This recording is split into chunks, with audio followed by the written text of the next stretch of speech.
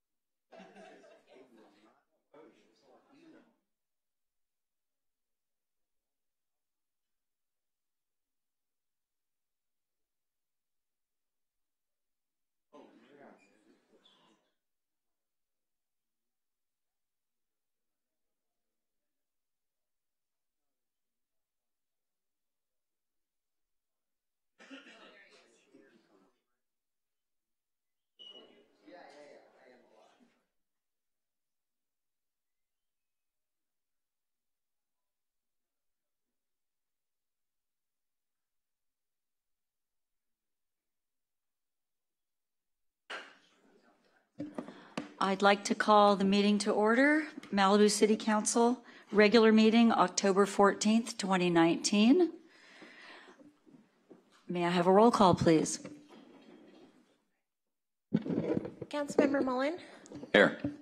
Councilmember Peak, Here. Councilmember Wagner, Here. Mayor Pro Tem Pierson, Here. Mayor Farrer. Here. You have a quorum? Okay. Uh, Hans Laetz, would you please lead us in the Pledge of Allegiance?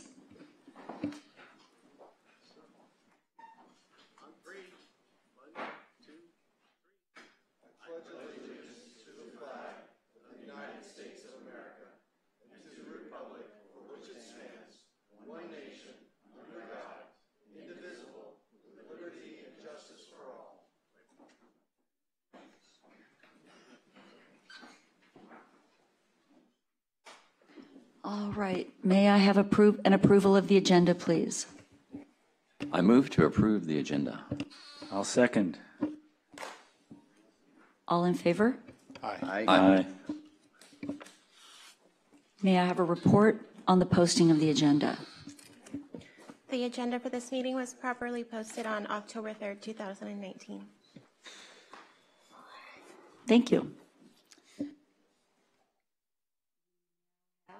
Excuse me, we now have ceremonial presentations. I have a city tile to present to Doug Clevenger, Senior Code Enforcement Officer, for seven years of service to the city. Doug, would you please join me at the podium?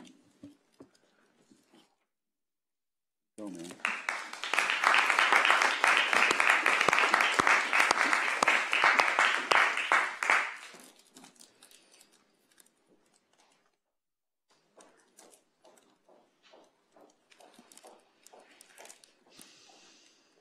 Okay, let's see here. Is this on? Sorry, is this on? Okay. Doug Clevenger joined the Planning Department on Octo- in October of 2012 as a code enforcement officer. With his law enforcement background, he brought valuable structure and consistency to the code enforcement program. He now leads the city's team of two other officers to ensure city codes and laws are enforced and public health, safety, and welfare are protected. Doug's people skills have been critical to his success. He is able to diffuse volatile situations and more often than not gain voluntary compliance. Applicants and property owners alike appreciate his practicality, professionalism, and his primary goal of finding solutions. They also know that he will follow up and use all available tools to get violations abated. This determination has earned him a reputation for firmness and fairness that fosters cooperation. More often than not, people go into meetings with Doug angry and leave smiling because they walk out with a reasonable path for resolving their issues. Doug has also become a critical go-to person in City Hall. This is probably his own fault because of his customary mantra of I'll handle it. And he does. He goes above and beyond to find creative solutions to problems, whether it's specifically a code enforcement issue or just something that will make the quality of life in the city better. The city thanks Doug for his seven years of service and for the teamwork and friendship he provides at city, his City Hall colleagues, and we look forward to many more. Please welcome me in thanking Doug Clevenger.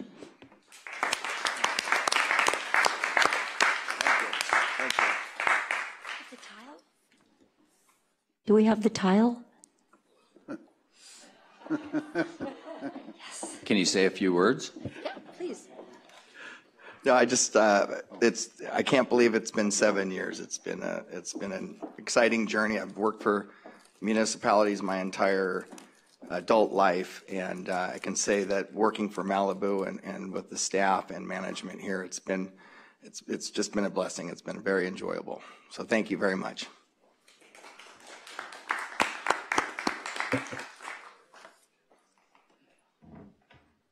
Hopefully this one doesn't fall out and break. I think they checked.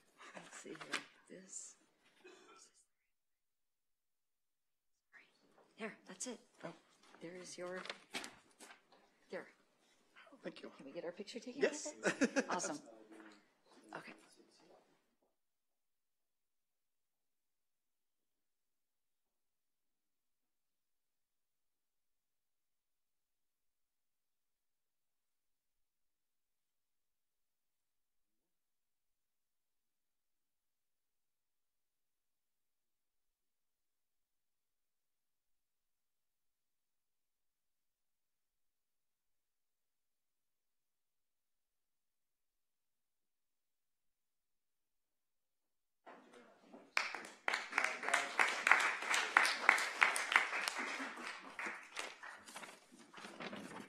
Whoops. We have another presentation of a city tile to Heather Glaser, our city clerk, for seven years of service to the city.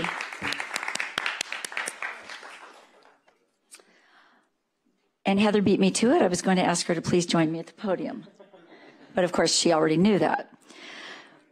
Heather was hired as the deputy city clerk on October 15th, 2012, coming to us from the Las Virgenes Municipal Water District. She also briefly served as our acting city clerk before she was formally appointed as city, city clerk on August 29, 2016. Heather achieved the designation of Certified Municipal Clerk from the International Institute of Municipal Clerks in 2015 and continues to work toward her Master Municipal Clerk designation. Heather has overseen one standalone general municipal election, two consolidated special municipal elections, and two consolidated general municipal elections. During her years with the city, Heather has found many opportunities to use new technology to provide the public with better access to the services offered by the city clerk's office, including online scheduling for passport appointments, implementing the city's OnBase public records portal to provide the public with 24/7 access to many of the city's digital records, implementing a centralized online public records request system, and coordinating design and implementation of the city's electronic agenda management software. Heather is greatly respected by her coworkers and members of the public, and she is always happy to assist anyone looking to become more informed about their local government. On behalf of the community, we want to thank you, Heather, for your seven years of service.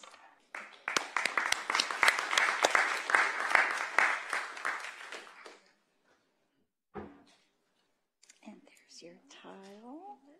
May we take a picture? Speech, speech. Yeah, please say a few words. Uh, Thank you, Mayor and Council. I wanted to take a minute and thank my deputy, Kelsey, for being my other half in the city clerk's office, um, Christy for her wisdom, and Reva for giving me the opportunity to be Malibu's city clerk and work hard at work worth doing. So, thank you.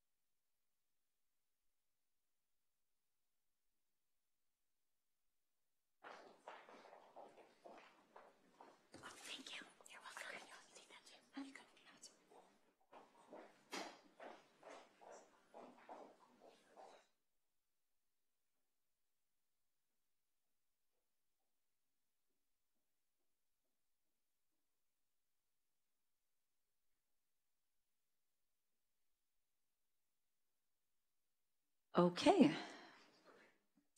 We will now have a staff update on disaster response and recovery. Richard, Andrew, and Susan, thank you.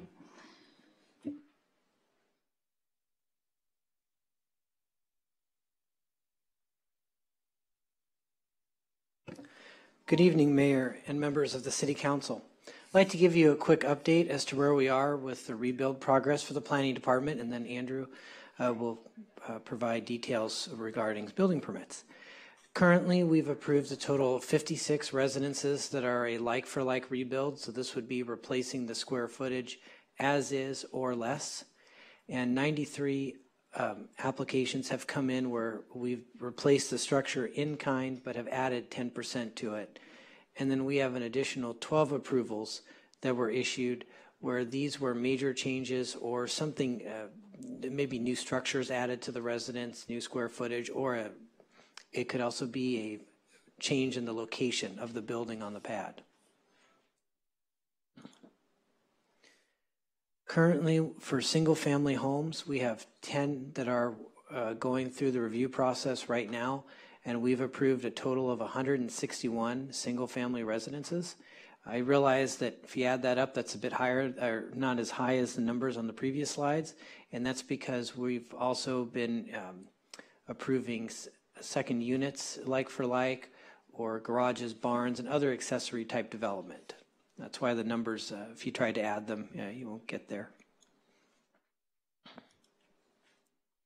And this details that a bit more. So we have the 161 residences, 24 second units or accessory dwelling units, and then 89 other types of structures. We have been implementing the fee waiver program as approved by the council. Uh, These would be the waiver of fees for projects where it's a like-for-like rebuild up to 10%. And this includes the planning fees as well as the fees for the various other city agencies and plan check. To date, we've issued around uh, $840,000 worth of waived fees.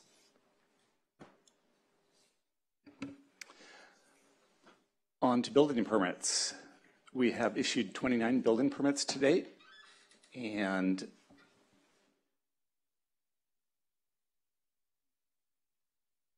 here's the breakdown of what's actually in building plan check, where folks are running their plans through the building department as well as other city agencies, environmental health, geology, fire department, um, and public works. We currently have 85 projects that have cleared planning and that are preparing to submit to the city for building plan check, but have not yet done so. And we have 47 projects that are currently in the plan check process, uh, being reviewed by all those departments that I just mentioned. Again, 29 building permits issued, and we're hoping to get the first homes completed very soon, but um, we have uh, 29 uh, with issued permits and under construction. We have our rebuild coordinator position that is here at City Hall at extension 378, And uh, the rebuild coordinator is helping folks who need to put together a plan check application. So that's the magenta number, 85.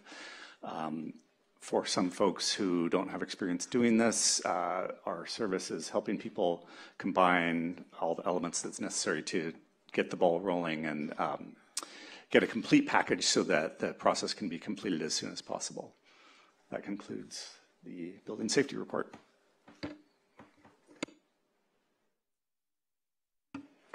Good evening, Council. So, an update on preparedness efforts in the last few weeks. Uh, we conducted our final disaster notification system test in Western Malibu. Uh, we also conducted an emergency operations center training for city staff. Uh, and this staff also included a drill that we did um, in the Big Rock neighborhood to test our ability to alert residents to an emergency situation. And I'm going to show you a little video of what it looked like. So we now have magnets that we could put on city cars, sirens, bullhorn sirens. Um, this is the city of Malibu. we are testing our ability to alert residents in the event of an emergency. If you have questions, please call City Hall. So it went really well. We learned a lot. Um, it was really great, and we we plan on doing more because you know people told us that uh, they could hear the siren. They had trouble hearing the, the bullhorn, like being able to understand what we were saying.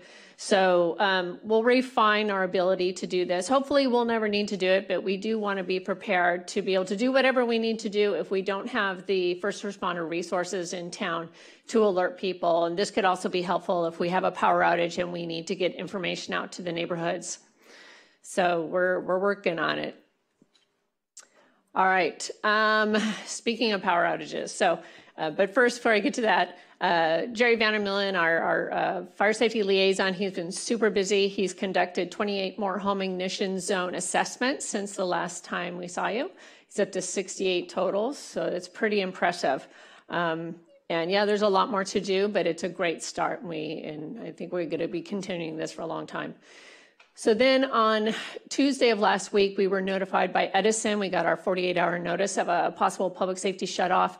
It was in western Malibu, roughly from Point Dume to the city limits.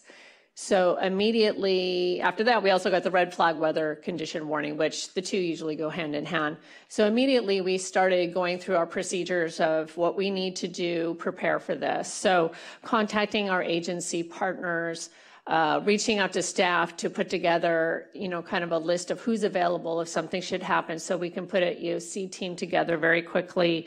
Um, contacting uh, Edison Fire Department, Caltrans, um, trying to get generators from Caltrans, maybe keep the signals, because that was one concern we had. There was quite a few signals between that area, and that and in addition to just like an inconvenience if there's no power, if we did have a fire and we needed to evacuate, that was a big concern if we were having trouble with signals. So we wanted to get generators out. So we contacted Caltrans, but we also uh, prepared ourselves because we have a number of portable generators ourselves. So we pulled those out, got those ready to go so that we had something to be able to implement if we needed to. Um, we did a lot of messaging. We put together a lot of standardized messaging. We also shared it with our neighboring cities so that we're all kind of putting out the same message, and that'd be like, you know, Agoura and Hidden Hills. We're trying to work together so that we're all saying the same thing. Uh, we also did an audible PSA that we gave to KBUU that was playing, just giving people information. Um, we also were prepared to implement our information station program. So we talked to beaches and harbors. They agreed to let us put one there. If we needed to put a big sandwich board, we were going to put it at the entrance to Zuma because um, it seemed like a good location. So that was done. And then also the County Emergency Operations Center, they were on low level activation, and requested that we uh, put in situation reports. So I was constantly putting in jurisdictional situation reports to the county system during this. So that was kind of leading up till Thursday. When Thursday got really exciting, quite a few fires. There was one early in the day at Mulholland and uh, Las Virgenes. So we were monitoring that. And then later in the day, we had the fires breaking out um, in um, the uh, Saddle Ridge fire and also the one in Newbury Park. So we spent a lot of time monitoring. Uh, Jerry went out, boots on the ground, to get eyes on these incidences, to give us information. we then put together a tentative EOC uh, staffing plan, getting ready, you know, because we just, even though they weren't an immediate threat to Malibu, you know, we all know it, it, you never know. The winds could change and suddenly it's in our backyard. So we are preparing for that. And then on Friday, you know, the smoke was so bad here, we activated the CERT team. We pulled out all the N95 masks that we have left from Woolsey Fire, and we began putting those out in, um, you know, at the park, here at City Hall. The library and the CERT team went out to uh, markets and just handed them out. So they were a huge help to us, took them to the library. Um, and so that kind of sums up that. I'm trying to think if there's anything else about it. So that was this. I forgot to click the slide, sorry. so got so busy talking. Yeah, so that's all there. And I, you know, we're just so very thankful that uh, nothing came into Malibu. And it was just another good drill getting us in shape. So we're, you know, the more you do it, it's like muscle memory. So just, we just get faster and better each time we have to plan for this. And again, as always, I encourage people to make sure you're signed up for disaster notifications because I just want you to know part of our public safety power shutoff procedures, one of the first things we did that I forgot to mention is the area, the circuit that was going to be impacted. We sent an Everbridge message directly to those folks. So we have polygons already pre-drawn for each of the eight circuits in the city. So it was very easy to very quickly get a message out to that specific area. And then um, we, for the rest of the community, we just used our general um, messaging platform, social media, and all that. But that is our protocol to use Everbridge to alert the specific neighborhood. So that was done. So it's very important that people get signed up for those alerts to make sure you're getting them. Great. Thank you, Susan. Quick Okay. comment, would that be a quick comment? Sure. Susan, um, could you remind us that truck that's out front, there's a number of questions asked me in the parking lot, and maybe you could give it a quick review. Thank you. Yeah, that, uh, we reached out to Verizon, or rather Reva reached out to Verizon asking if we could possibly get a, uh, a cow, but instead we got something better, we got a colt. So a cow is a cell on wheels, a colt is a, a cell on light trailer, which is even bigger and more robust than a cow. So they have agreed to have it uh, stationed here in Malibu through the end of the year. So that's really a great thing to have. We still have to request it through the official channels because it needs to be documented appropriately, but it's right here in town. We won't have to wait for it to come in from like an hour away from another jurisdiction. Thanks for that update, appreciate it. Yeah. Okay, thank you, Susan. All right, moving on. Item 2A. We have written and oral communications from the public. So uh, when I call your name, would you please uh, be ready to come to the front uh, to save time? First up, we have Ian Roven, followed by Joel Schulman, who has four minutes with Keon. I see you there. Uh, Followed by Keegan Gibbs. Thank you.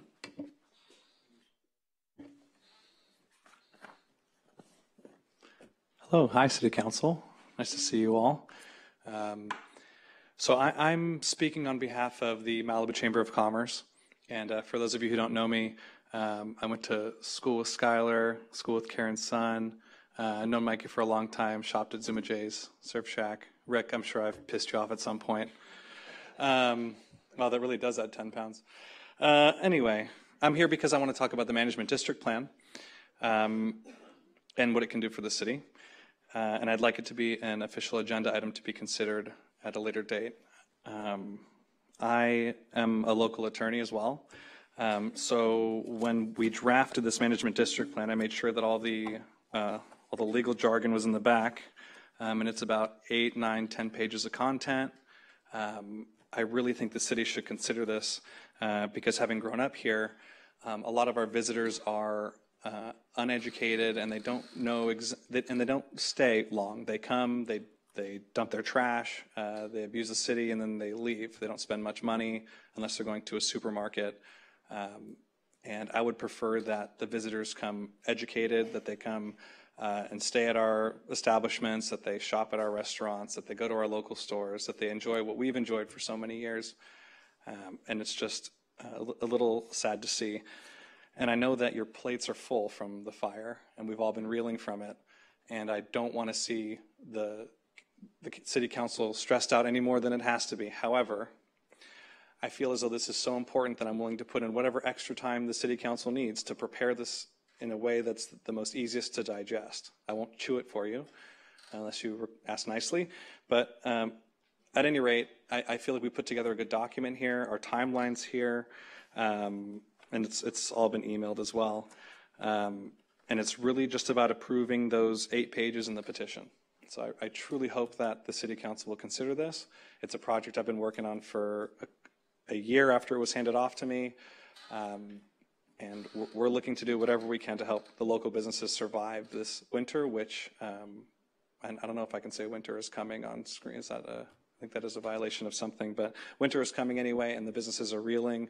Um, uh, one report we, the chamber had, uh, we surveyed our businesses, and 50% of them um, say that they, I got beeped out. 50% of them say that they uh, are, it's going to take about two years to recover what was lost, and about 15 to 20% say that if there isn't some type of change, not drastic, but some type of change, uh, that they're just not going to be able to survive.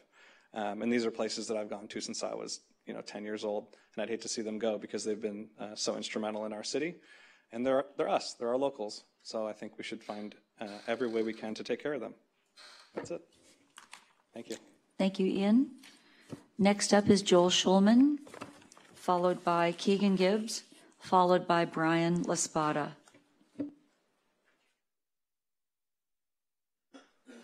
Karen, it's like you've been doing this all your life. Um, I'm here to actually uh, follow on to my uh, talk uh, two weeks ago to actually determine a date to put the LCP pesticide amendment on, on the agenda. Uh, what's happened recently, did everyone notice that we found out last week that two mountain lions died of, uh, of rat poisoning? And this is really kind of strange. This, uh, that's actually the third last uh, in this year. Uh, we had one in August, September, and April. And that's really strange because before that, there was like one in 2018 in the summer, one in 2017, and one in 2015. So all of a sudden we have three. So I actually happened to meet uh, Jeff Sikich uh, yesterday of the National Park Service, and I asked him, you know, what's going on? And he was actually sort of irritated. He said, there's nothing new happening. I, I asked him, is it the fire? Did it have to do with the Woolsey fire? And he said, not really. He says, the place is just drowning in rat poison. I mean, he was really pissed, uh, and that they're following the mountain lions better than they used to with the, with the collars. So they're just finding more dead, poisoned mountain lions. And it, I'm using mountain lions, but it's not just mountain lions. It's you know owls, hawks, bobcats, coyotes. And uh, a quote from Seth Riley, our uh, Dr. Seth Riley of the National Park Service and UCLA. Just about every mountain lion we've tested throughout our study has had exposure to these poisons, generally multiple compounds, and often at high levels. So it's, we don't see it every day, but, but that is, that's what's happening. Now, in terms of the history of this LCP amendment, as uh, some of you may remember, it's already been voted on unanimously three times to go forward with this. Uh, most recently, just last March, March 25th, we had real great enthusiasm. Mikey was leading the way. And there was a unanimous vote by consensus. The council, this is from the minutes, by consensus, the council directed staff to bring back an item to discuss banning pesticides, herbicides, rodenticides, insecticides in the context of the LCP amendment. So uh, that's the third unanimous vote. The first one was in December, uh, brought on by uh, Skylar, 2014, and then reaffirmed again by Skylar in May 2018. So I don't, I'm not sure what kind of vote would be needed today that I'm sort of, I'm requesting a date or a date to determine a date or something, but just another vote, making it four votes. Um, I, you know, I'm sort of asking, how do you do this? So um, that's that's my request, and uh, Keegan will follow up. Thank you. Thank you, Joel. Uh, next up is Keegan Gibbs, followed by Brian Laspada, followed by Barry Haldeman. I've got a slide presentation for you guys, so Does it show up on here ever, or no? Your, my slides? No, you guys have to look over here. Oh, okay, perfect. All right. So normally when I come up here, I, I, sometimes I'm kind of funny, sometimes I'm kind of emotional. Uh, I, am I'm going to try to keep my cool as, as, as, much as possible. I'm going to try not to cuss, uh, but frankly, I'm really, really angry. Um, Joel and Kian have been working on this for five years, right? You guys have voted on this thing multiple times. From my understanding, this thing's getting blocked at the staff level, in particularly Christi. And um, can, how do I go to another, another slide? You guys already know all this stuff, right? A rat eats it, goes up to a hawk, goes up to a coyote, bobcats, and it gets passed up the food chain and goes to um, our mountain lions, right? So I don't really need to educate you because you've been educated probably over a dozen times over the last five years. This is what a healthy mountain lion looks like, right? That's what an unhealthy mountain lion looks like. It's called mange. And what happens is they bleed from the inside out. Their organs gush blood. Healthy.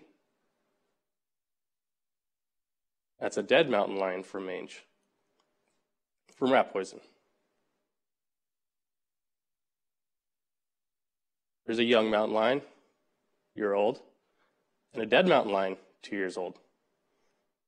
Christi, I really need you to pay attention here, okay? I, I need you to look at this one right here.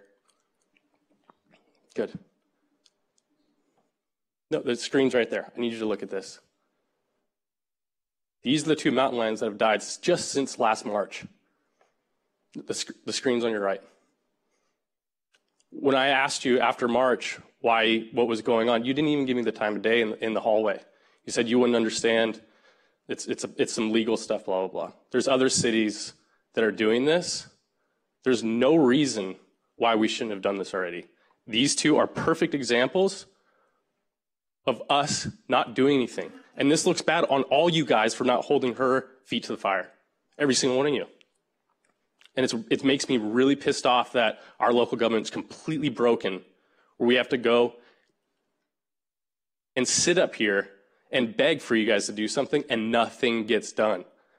You lose all sort of, of respect for this podium, respect for this city and how it works, when this is the right thing to do. So just do it. Three this year. There's a farm in Serra Retreat that thinks they're doing the right thing with rat poison. They said it's, it's all organic, it's natural. It's not. It's killing these mountain lions. By making it illegal, you make these businesses aware that they cannot do it. We have a small area, we have a small impact, we have a duty to do that for the mountain lions. That's all I got. Thank you. Next is Brian Laspada, followed by Barry Haldeman, followed by Michael Epstein. Good evening, Mayor, council members, city and staff. It's my first time speaking for the City Council, so I feel humbled to be here. Um, just to introduce myself, I know most of you, but I am a pastor at Calvary Chapel Malibu in West Malibu. We meet in Juan Cabrillo Elementary School. And uh, this is just a side note. Before I state my business, I just want you to let you know that from our faith tradition, we actually have a verse that says, Pray for all positions of those in authority, that they would live quiet and peaceable lives. So in the original language, the word all actually means all. So that means all of you. Usually the congregation laughs when I use the word all, but this isn't my congregation, so never mind. My state of business here today is, in addition to serving as a pastor, I also serve as a chaplain for the LA County Sheriff's Department. And with that, I have my unit of operation right here at Lost Hills. So coming up on October 23rd at 10 a.m., we are doing a one hour um, introduction to our new captain, Captain Matthew Vander Horck, and we are creating a platform for the faith community leaders to meet our new captain, as well as the captain to have an ear of the faith community leaders. And so, with that, the captain has asked us to invite all the city council members of all five uh, cities. And so that's what this is. It's a formal invitation to you all to come and join us on October 23rd for one hour. We will have a few brief presentations. One will be on homelessness, and it will just be a little nugget just to let the, let the faith community know because it is a big concern for the faith community where our uh, where our law enforcement stands on it. But we will also have something even more important for faith leaders. We will touch on the idea of faith community security, which is a which is a big issue, especially in the Jewish community. Um, they are very concerned about just the tide of the times. And so please, please, please come out. All the city councils have been invited. I believe the, ti- the Times will be there, Acorn, Suns, uh, Surfside News, etc. And that's about it. Do you have any questions? Thank you very much. You should have a card right here with all the information, and you can RSVP simply by perfect. It's all on there. Thank you, Brian. Okay. uh, Next, Barry Haldeman, followed by Michael Epstein, followed by Lloyd Ahern. Uh, Good evening. Um, First of all, I wanted to thank, uh, I- well, first of all, I'm here opposing the amendment of the local coastal plan for the Santa Monica Mountains by LA County to allow camping in ESHA areas. Um, And I want to thank the council and in particular uh, our mayor and our mayor pro tem and our uh, former mayor for showing up at the Board of Supervisors and for the council in supporting the position that we, that it's a disastrous amendment to the local coastal plan. Um, As many of you know, unfortunately, this, uh, th- the plan was passed with one exception, and that is the um, amazing exception that they thought they might put a ranger to walk through the camping area during high fire days. Previously, there had been no one walking through. We'll see if that makes it back to the Board of Supervisors. But this is a very serious thing, especially in light of all the recent fires, not even just the Woolsey fire. So um, they, they seem to be pushing forward. So, um, but it's not over. There are a lot of things we can do to fight this, not the least of which is to object to the Coastal Commission who has to approve it. Uh, also to um, consider possible litigation and writing again to the Board of Supervisors who will have to reapprove the rewritten uh, statute. And so um, uh, it, we have given out T-shirts that say "No More Fires." I want to thank the people who showed up, and we have a Facebook page called Santa Monica Mountains Safe Access Coalition, which we will um, give new information on. And if you want a T-shirt, uh, you can get it through there. Also, I asked Aaron if, if some, of, some of the merchants would uh, be supply stations, which would be great. The other thing uh, is very important. I would like to recommend that we have a publicist, that the city hires an outside publicist for about five or six months to change the face of Malibu, because Sheila Kuehl was very disrespectful to the city and basically said, kind of suck it up, access is more important. And uh, I would recommend strongly that we need to change that view of the city. It'll help us in Sacramento with a lot of things. It'll help us with this amendment.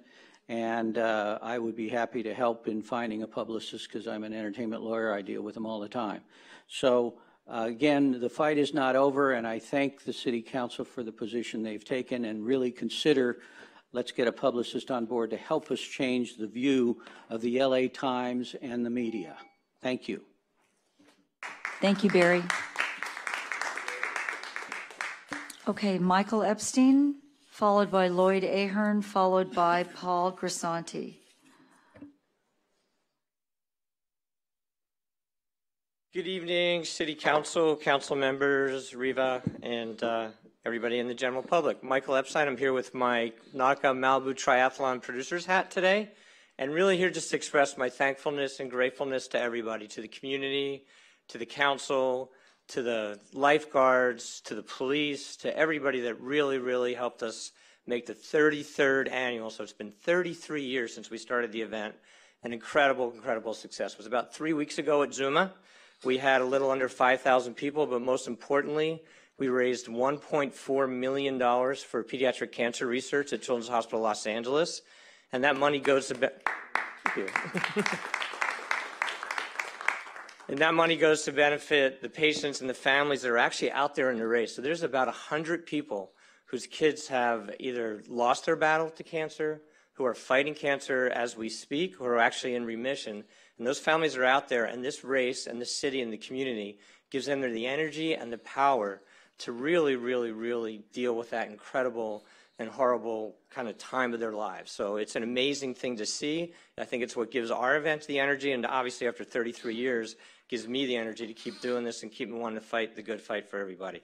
This year, the sheriffs did an incredible job of getting the roads open early. I think we had about an hour and 15 minutes of impact each day, so it's been getting better and better each year. And uh, we could not do the event without you guys. So I'd like to present Reva and each city council member with a finisher's medal from this year's Nautica Malibu Triathlon. So thank you guys.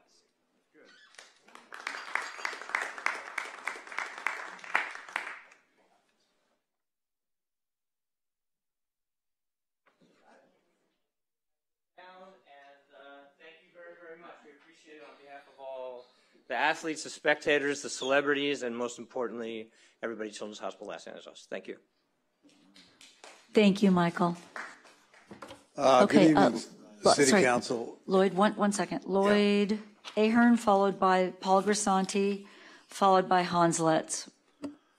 Uh, Good evening, City Council. My name is Lloyd Ahern. I want to uh, talk about the uh, September 24th uh, Board of Supervisors meeting that Barry just talked about, and I want to also thank the, whole board, uh, the whole Malibu City Council, the whole apparatus. It was unbelievable, the show of force between Karen, Mikke, Jefferson there, and then just the feeling of all of you guys behind us.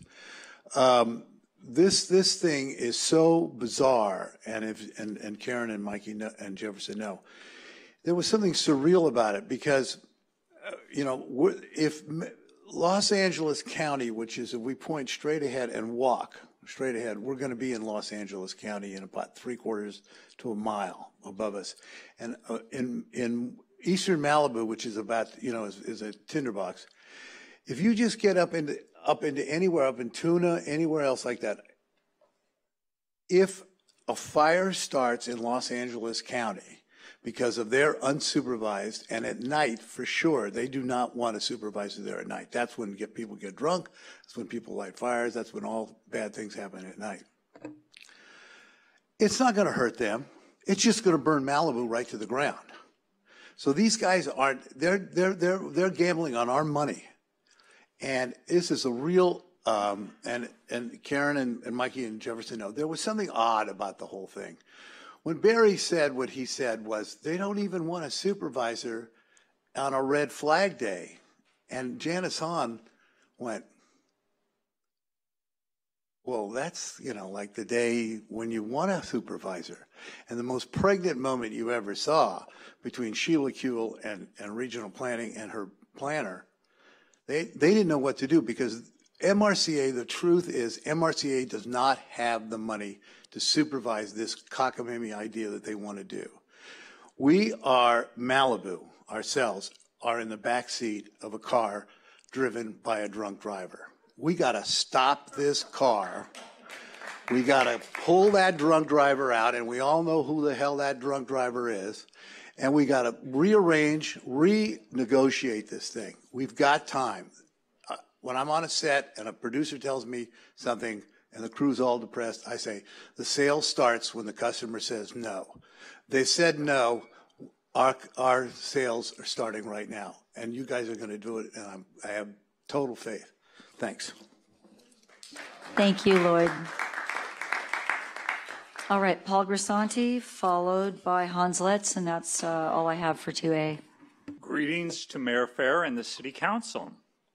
And I just want to take a moment to recognize something that you received at the beginning of the meeting when they said that there's 29 permits that are currently outstanding. That's four more than last week. You took in five applications last week and you issued four permits. You're almost to the point where you got as many coming out as going in. That's really good news because until you get up to about six a week, you don't stand a chance of people getting a permit in six months. So I'm really pleased with it. I think it's terrific. I think anytime you pass building and safety, give them an attaboy or attagirl or thank you very much and really, really, really appreciate it. And I was going to ask, display my ignorance about how to watch this meeting live on, on uh, online, but Hans straightened me out. So I'm going to go home and watch it on YouTube. Thank you, Paul. The last speaker I have for public comments not on the agenda is Hans Laetz. I too cover your meetings watching YouTube, sometimes watching other things at the same time. Uh, Mr. Epstein just gave you an award and told you some facts about the marathon that just weren't true. The, the marathon has been here for 33 years, and every year it has gotten bigger. This year, they ran a, a bicycle race from here to Oxnard and back. That not only gummed up Pacific Coast Highway for the first time to the west, but it also meant that the finish lines in Malibu were up much longer because there was a, a long road race in the middle of it. He said the roads were open in an hour and a half. That's not true. At 2 o'clock Saturday afternoon, the day of the marathon, Pacific Coast Highway was still restricted to one lane and was virtually stopped from El Matador Beach to Paradise Cove. The marathon has grown and grown and grown. Nobody wants to endanger the millions of dollars that it raises for the children at Children's Hospital. There is no question that the marathon is a wonderful event that brings people to Zuma Beach, that brings athleticism and esprit de corps and, and good things. And that's not the issue. The issue is the lack of communications. Once again, Malibu Park residents, Malibu West residents, or Broad Beach residents were isolated in their neighborhoods with no accurate times, no accurate directions, and no accurate instructions as to where to wait or how to get through. I stood at the corner of Trancas Canyon Road and watched people risk arrests because they had no idea what to do. They couldn't stop, they couldn't go. They were instructed to just keep driving. People in my neighborhood have never, not once, received a communication from the marathon as to what time the lanes will be closed and what times they'll be open and how to get through. The confusion about being told to go down to Bonsall and try to turn left there, once again this year, we were not allowed to do that. My neighbors were not allowed to turn left there by the deputies directing traffic. This has been a cluster blank getting bigger and bigger and bigger, and it's time to address it. I'm happy that that many people came here and were able to enjoy the beach, and I am thrilled that $1.6 million was raised for the children who desperately need it. The question must be asked. How much was raised for the organizing company? How much did they make using our public streets. If they're going to use our public streets, then we deserve some accountability on this. And then make the donation to the children. Thank you for your attention. Thank you, Hans. Okay. Moving on, do we have a city manager update? Yes, good evening, everybody. Nice to see everyone out here. Um, I want to start by um, thanking Doug Clevenger, our uh, Senior Code Enforcement Officer. Um, Doug is one of the most helpful people uh, for me and for the city uh, here at City Hall. He is responsive, he is patient, unbelievably patient, and really helpful in dealing with problems that come up in our city. And so um, I think he's one of those people who just embodies what a civil servant is. And so I'm very grateful uh, to the work that he's done. And thank you for being with us for seven years. And I hope we have you for many, many, many more years. And thank you very much to our city clerk, um, Heather Glaser, who is um, always calm and always patient and takes so much time uh, with staff and with the community and members of the public. And uh, we're very lucky to have her, and I'm very lucky to have her on my management team. So.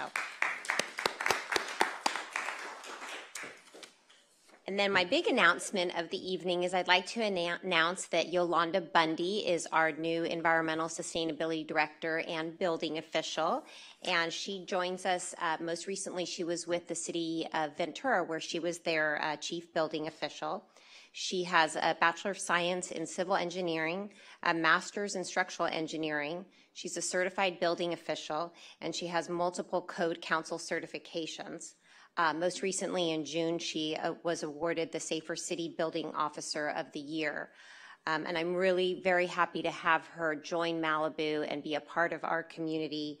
Um, she uh, was with the city of Ventura after the Thomas Fire and helped them in their rebuilding um, of over 500 structures. And so the depth of knowledge and um, the understanding that she has in dealing with the community after a disaster like what we're uh, going through is just invaluable. And so I'd like to invite Yolanda up to say a couple words, and I hope uh, you all will take the time to come meet her and give her a warm welcome at City Hall.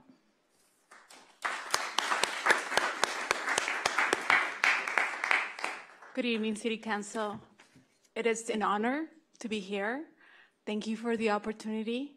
I am humble by this opportunity, and I'm fully committed to help the public and council members and city manager.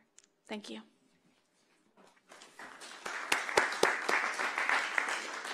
And then just two quick um, announcements. On October 24th, we're going to be having a screening of the Johnny Strange film, Johnny Strange Born to Fly, and that will be here at City Hall October 24th at 7:30. Um, there's only about 30 spaces left, so please uh, register for that if that's something you're interested in attending. Um, and then we also have a survey open on the city's website for the temporary skate park um, to put in your opinion on a couple of the options, and that is open until Friday, October 18th. And that's available on the city's website, malibucity.org. Um, and then I'm going to echo what I do every council meeting, what Susan did. Please sign up for alerts. Please register with Everbridge and make sure that you have a way uh, to hear what's going on when there's a disaster, particularly as we are now uh, in the depths of fire season. So thank you. Could I ask, could you tell us what's going on on uh, November 9th a little bit? Oh, certainly. Um, I apologize. I actually meant to do that. So on November 9th, um, the council will, um, the council, the community will be recognizing uh, the one year anniversary of the Woolsey fire. November 9th is the day that it hit Malibu, even though the fire did start the day before.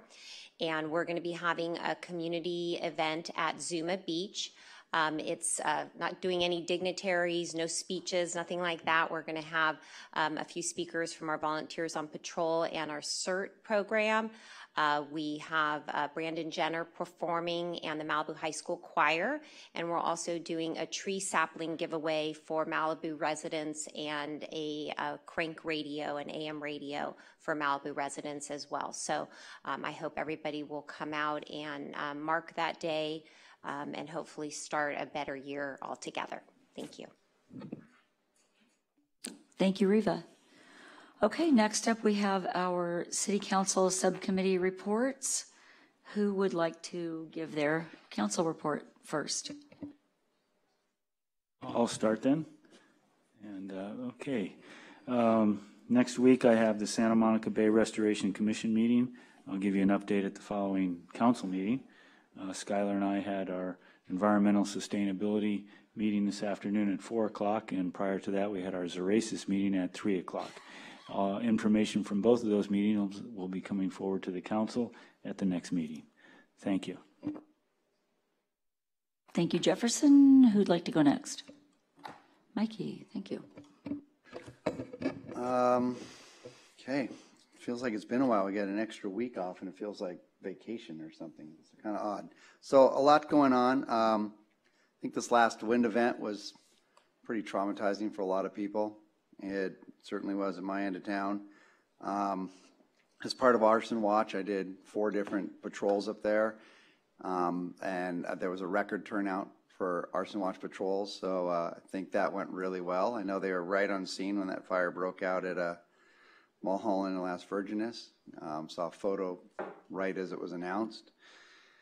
I know too that people are really grateful to see that response and just know that people are up there and trying to be aware. And um, I don't know, it was good. So if you um, want to do something to help, consider Arson Watch. Obviously, Karen and I and Jefferson um, went to the county meeting on camping in Esha. I'll let Karen speak about it. I'll just I'll go with the word surreal.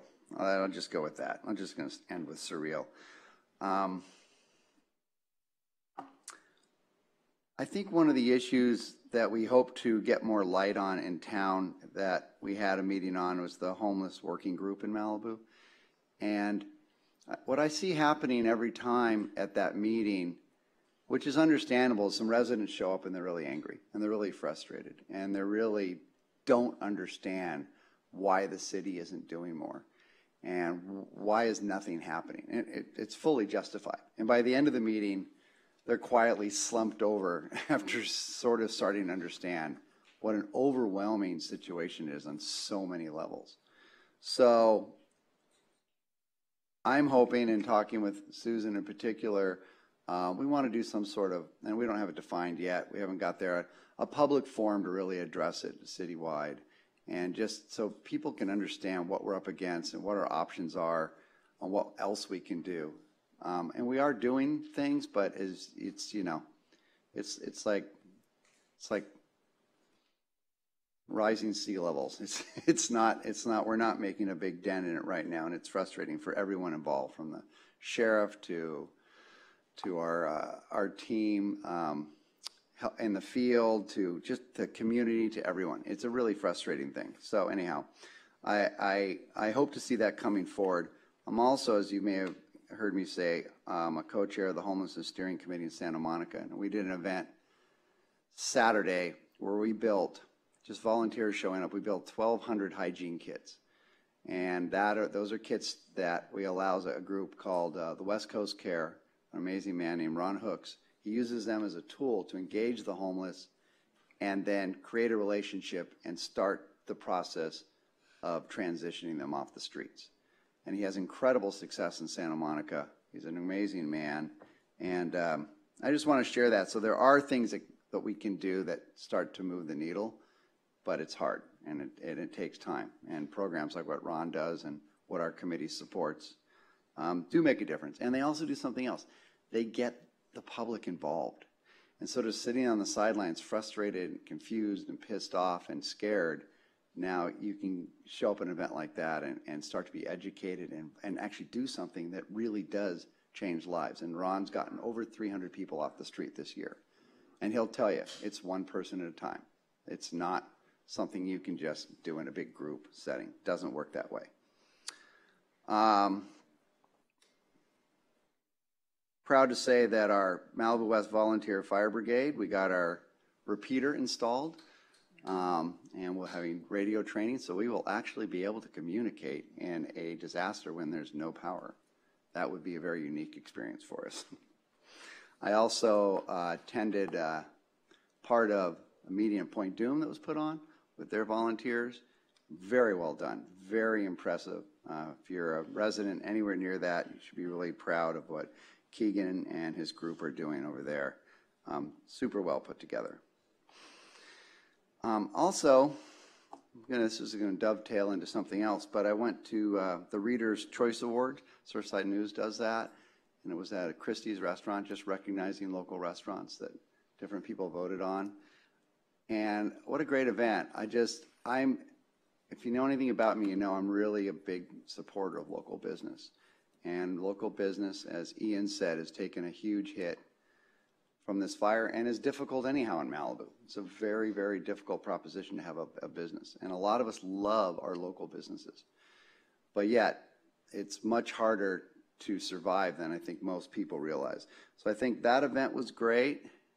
And I really would like to ask the council to, a, for consensus, to agendize uh, bringing forward what Ian was talking about, the tourism, the, the TID Improvement District. It's a, a really good plan that's a marketing plan that allows those businesses in the off season when things are slow to market for people to come spend money in our neighborhood and, and businesses in Malibu, if you, if you go ask them, they're desperate for that to happen, especially in the off season. So it's a really big deal.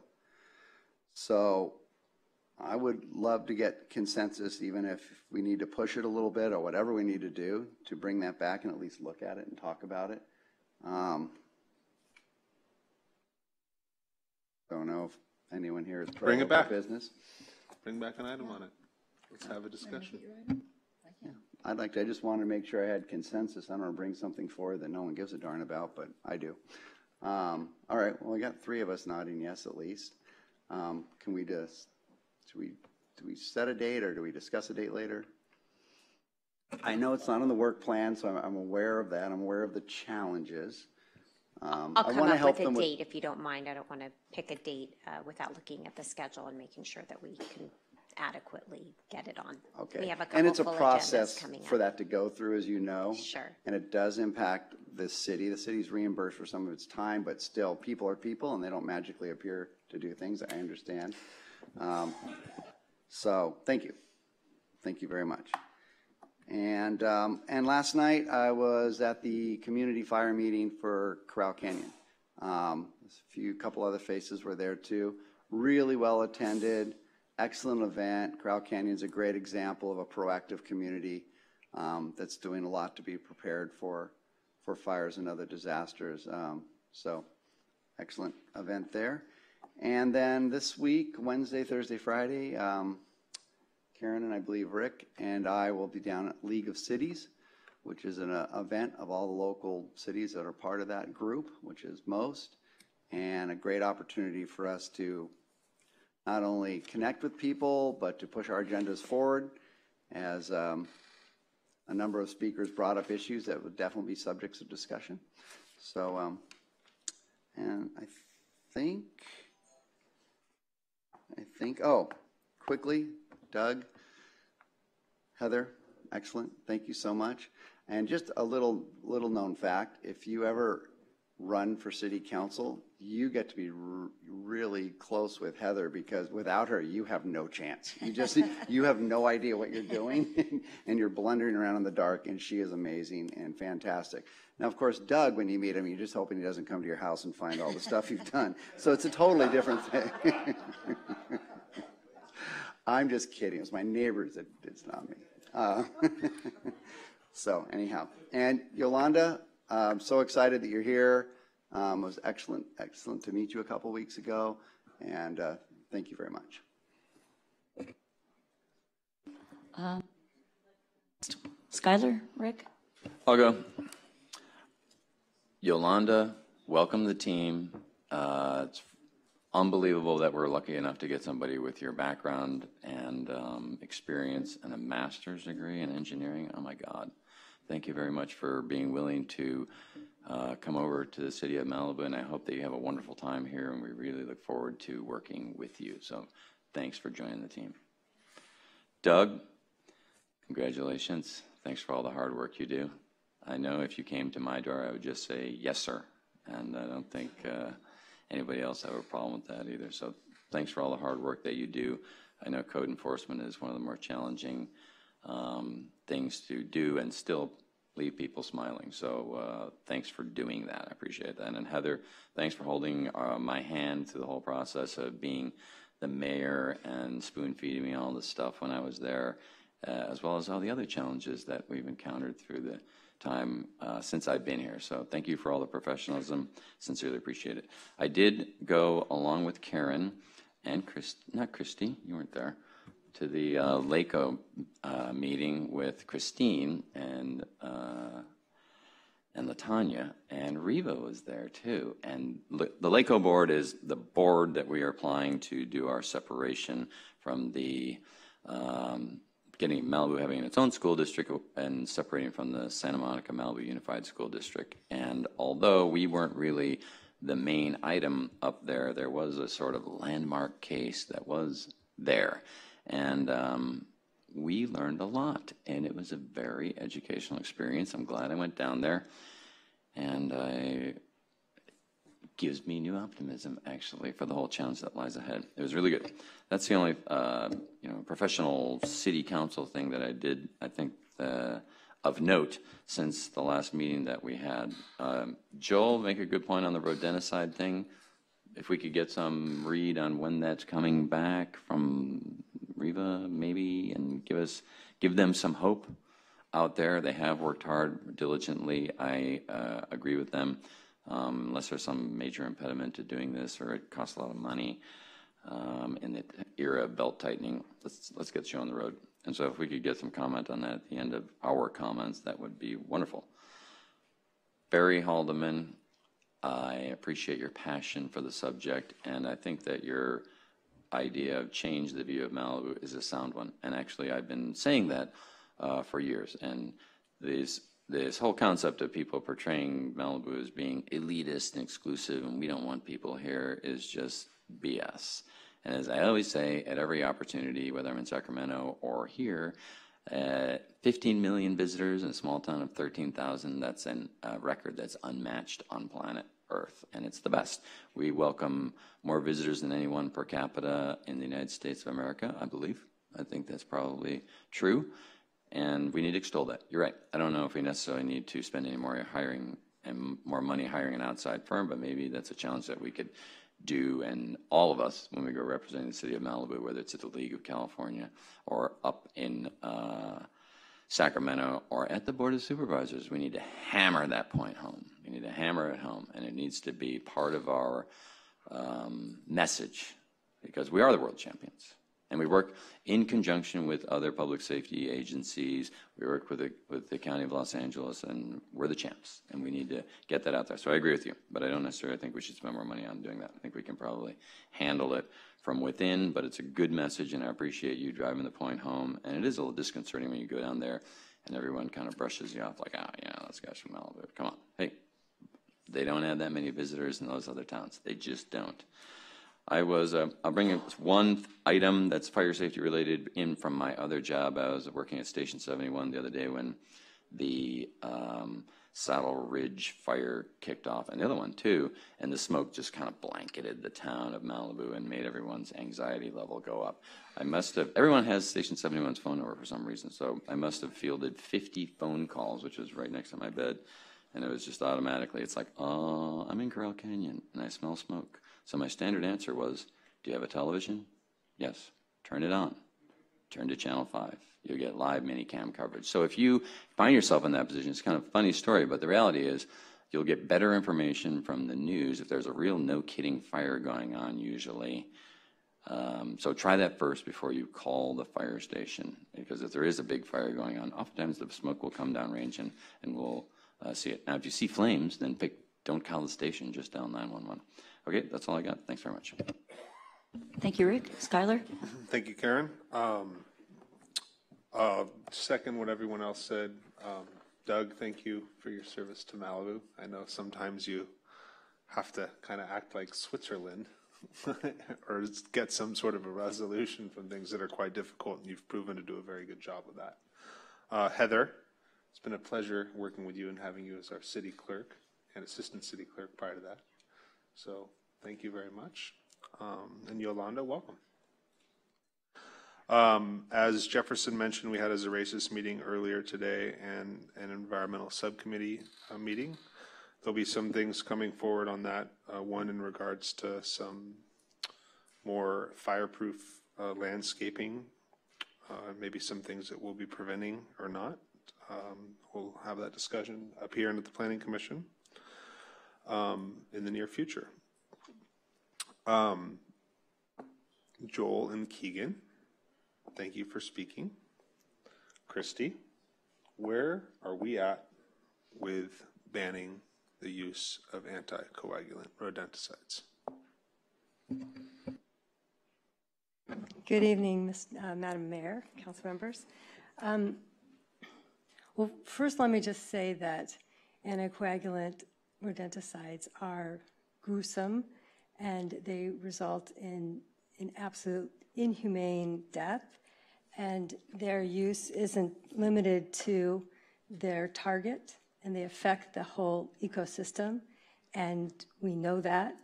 And um, I have no doubt in my mind about it. Um, and secondly, of course, as you know, I don't set agenda items, so I don't have it. I mean, you're not looking at the problem. Um, but um, at the same, well, also let me say one more thing, which is that you know it's always unnerving to me when people who are on the same side start attacking each other. I just, I, it's not productive, and it doesn't, it, it doesn't end up um, addressing the real issues. What we have done in terms of the rodenticides, besides learning a lot about them um, is we have stopped their use completely on city property, which is something that was in our control. Um, we have uh, twice called for the um, private businesses and homes not to use them and uh, launched education campaigns on that. Um, we have made a policy that we don't contract with any business that uses them, so there, nobody who uses those would get a city contract.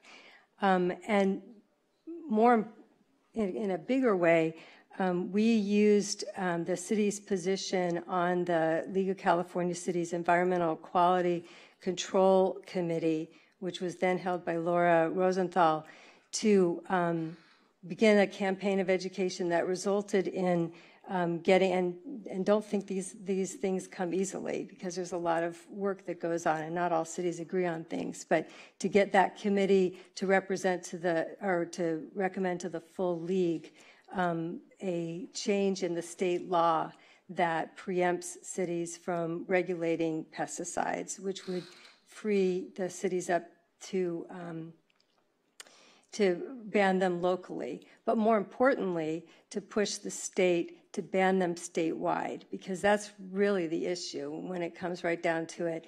Um, you know, critters don't know when they've meandered in or out of the coastal zone. And so it, it's going to take a statewide ban to have the ultimate impact. And with that, armed with that um, resolution from the League of California Cities, the city has continued to engage its legislative lobbyists who um, finally got some traction in the last year toward getting a bill that would um, assist in this. It went through the process. We got um, pretty far along, and it was ultimately, I believe, made into a two year bill. So we are still fighting the fight. And ultimately, I, I can't emphasize this enough, um, that's the solution because until they're banned statewide, you know, we you um, have a kind of a piecemeal control. Our issue locally um, is with Food and Agricultural Code Section 11501.1, which very explicitly says that um, the uh, registration, sale, transportation, and use of pesticides are a matter of statewide concern to the exclusion of all local regulation. And it charges the director of the um, state agency with um, enforcing that against cities um, in a, a, directive way. The director shall maintain an action, shall, if there is um, a violation of this. And so we know that at least for non-coastal cities, that that's not an option. And if what we're trying to do is, you know, get rid of this garbage, um, we're going to uh, need to address that code section. Their uh, theory has been um, promoted that the Coastal Act allows something beyond local regulation. That would be a departure from our usual interpretation of the Coastal Act. As you know, we've kind of fought for a long time to keep local control on that. Um, but it's a possibility. We'll see. There was a case called Mountain Lands Conservancy um, versus the Coastal Commission where a trial court had uh, ruled in, in favor of the Coastal Commission, expanding the Coastal Commission's authority. That case is now on appeal, so the trial court decision is of no use to anybody, not even the litigants at this point, but it's up on appeal, and maybe on appeal uh, we'll get a definitive answer from that. So that's also going. So we've got the two-year bill. We've got that case going. And then um, what else is I um, think that's it. Um, so that's So at this time, we can't uh, pass a law or an ordinance that would ban the use in the city of Malibu. so. with- Keegan and Joel, please be quiet. I, I hear you. Okay, and I'm aware of that, as you. If you're going to speak, you're going to have to come up to the podium. I don't think it's, Joel, please have a seat. Joel, I'm sorry. Everybody's had their allotted time. Our community is very passionate, as you know, about banning the use of these items. Mm-hmm. And the way that I understand it from you is that there's this preemption issue with state law. And yes, I very much understand how much the city has fought for local control, and we don't want to do anything that's going to jeopardize that. If you think this jeopardizes that, I don't want to do it. But I hear from so many people in our community, and then we have this reoccurring, disheartening footage that shows up online or is real, and we have animals that are dying, or predatory animals that are dying regularly in our backyard as a result of this. So it puts us in a lame situation because we want to do exactly what Joel and Keegan and many others in this community have referenced. Um, but yet, every single day, there's commercial pest operators coming into this city and, you know, probably thousands of our, probably, you know, one out of four homeowners in this community that have these anticoagulant rodenticides distributed all over their properties in areas that are adjacent to ESHA and elsewhere. And it's spilling over into our wildlife.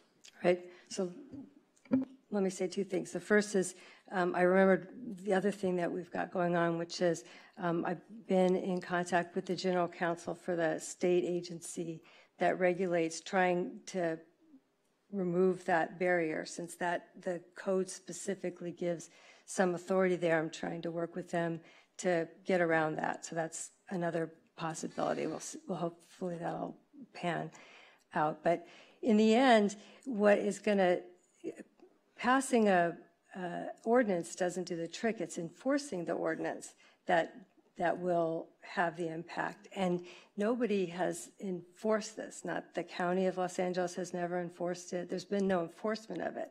And that's that's kind of where the important step goes, where we actually get rid of it. And that's why I think it's a good idea either to get the state agency on board, which I'm working on, or get the state law changed, which would be the most effective, so that when we do enforce it, if we adopt something, we can't get easily thrown out of court on, uh, you know, a very obvious legal, or spend, you know, tens of thousands of dollars fighting in court over, you know, the language of an ordinance rather than, you know, putting our money toward banning this. I mean, that's the concern, is that we're just buying, you know, legal arguments and we're not helping the environment. I got a quick question for you, if you don't mind. Um, so, did the county of Los Angeles ban this, essentially? Yeah, essentially in the LCP, but they haven't enforced it. That's the, I mean, that's the issue. Hey, please, a little noise discipline, you know, order. I mean, we, we need to figure out, you know, how to remove them where they're being used. That when somebody, we want a, a situation where somebody can seize one of those traps, can call the code enforcement officer and say, you know, cite them or get them I get removed. that. I- You know, that's, that's true for any, you know, rule that we have in the city enforcement. Um, But, the, so what the county passed is the same thing that we're wanting to pass, and have they been sued? That lawsuit that came down, that's what we're waiting on. That's pending in the Court of Appeal. The answer is no. The county of Los Angeles was sued? That's, is it the? Joel, please, just control I mean, yourself. There's, there's, there, there, the Mountain Lands Conservancy litigation is looking at that, uh, that issue about whether or not the um, Joel, please, control yourself. But you know what, that maybe we've gone too far on this thing. So if, I mean, I- again, I don't control agendas, so.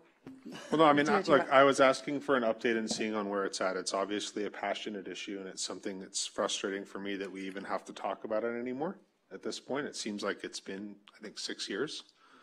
Um, so I just hope that we can, you know, put some, put the pedal to the metal on, you know, getting something to come out of the state where it is enforceable.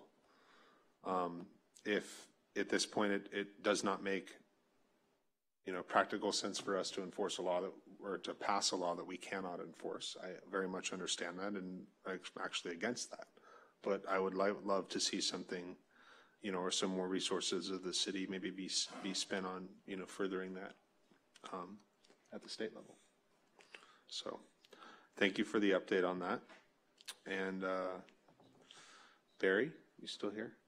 Yes. Um, Barry and Lloyd, thank you for bringing up this, this stuff with the, um, the camping and whatnot. And as others said, the, the little smoke layer that rested over Malibu from the, the fire out in the valley is definitely a reminder um, of how prepared everybody needs to be and that we do not need to have camping any further in the Santa Monica Mountains. So hopefully um, we can get to some sort of a resolution that would be different than what the county did, although I don't see that happening at this time.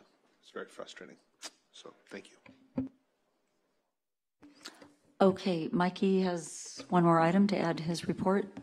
Yeah, I, um, I did want to speak on the pesticide issue tonight. I was too emotional to start with it, then I forgot it at the end. So I have spent quite a bit of time with Christi on this issue.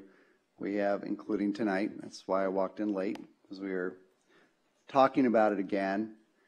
I, I would suggest at this point that we do agendize it and have, be able to have a full conversation on it and go into the details. I mean, I, I just think it's too important. There's too much damage being done.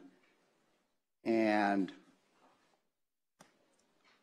I'm, I'm hopeful, there's actually been very recent communication from people at Department of Pesticide Regulation. There's, there's been potentially good news, but I think we should agendize it and talk about it because the cure, if our, any action we take isn't accepted by the Department of Pesticide Regulation, is that we could, of course, remove it. So there is, there is a way out, but at some point we have to make a stand. And, but I think we should have an intelligent conversation on an agendized item on it, and that's what I would suggest, and see if I can get some consent on that. So we agendize for a fourth time a vote and a consideration. Well, I'm Um, asking to bring it back and, and have an item that we can decide to move forward with, or have an intelligent conversation and not move forward with it, but actually get to the point where we're gonna have that conversation, as opposed to where we've been, which is not having that conversation and talking about agendizing it. So let's agendize it, and if it's the bad idea, let's not do it, and if it's the right idea, let's do it, but let's at least have that meeting and and have an adult conversation and bring the community out and bring experts out or whoever we can bring out and have this talk instead of sitting here frustrated and not taking, not, not getting to that level. I, I, it's not that I'm opposed to having the conversation again. I don't think that there's any disagreement among us as to whether or not it's bad for the environment, it's bad for our wildlife. I don't, I, I've just, I, we're sort of conflicted in this legal realm, you know, and that's where when, if something's getting appealed, that we need to wait to see where the cards fly on that decision. I, But if, I'm going to jump in here because I'm feeling like we're getting too far down the discussion with this, and I will find a date for it to come back, and you all can discuss it openly. Okay, thank you. All right. I'd like, anybody can I else? add one more comment? Yeah, Because of I course. didn't really make a personal comment on anything. I just wanted to thank Joel, Keegan, and Kian um, for bringing this up and continuing to bring it up. It, it needs to be forced. I don't have a problem with it. Um, we should have passed this a long time ago. I have to answer to the people who call and email about Joel and Kian in other cities have had got this passed. Other communities have passed it. And they embarrassingly have to say, well, I'm from Malibu and we haven't passed ours yet. I share that ill feeling deep down with you, Joel. And I know Kian's watching tonight. Thank you, Keegan. And- what's it? Well, we can't see because we're, this, these lights are, uh, can't, anyway. Thank you for this. Um, I do my own duty. I see a bait box. I know what to do. Thanks very much. Okay. Um, Just want to quickly go through some of our uh, speakers tonight.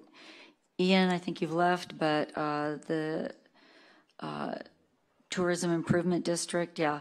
Um, hopefully, we can improve tourism in the off season. I think we all seem to feel like we have enough during the on season, or at least a lot of people. Hopefully, they're spending some money.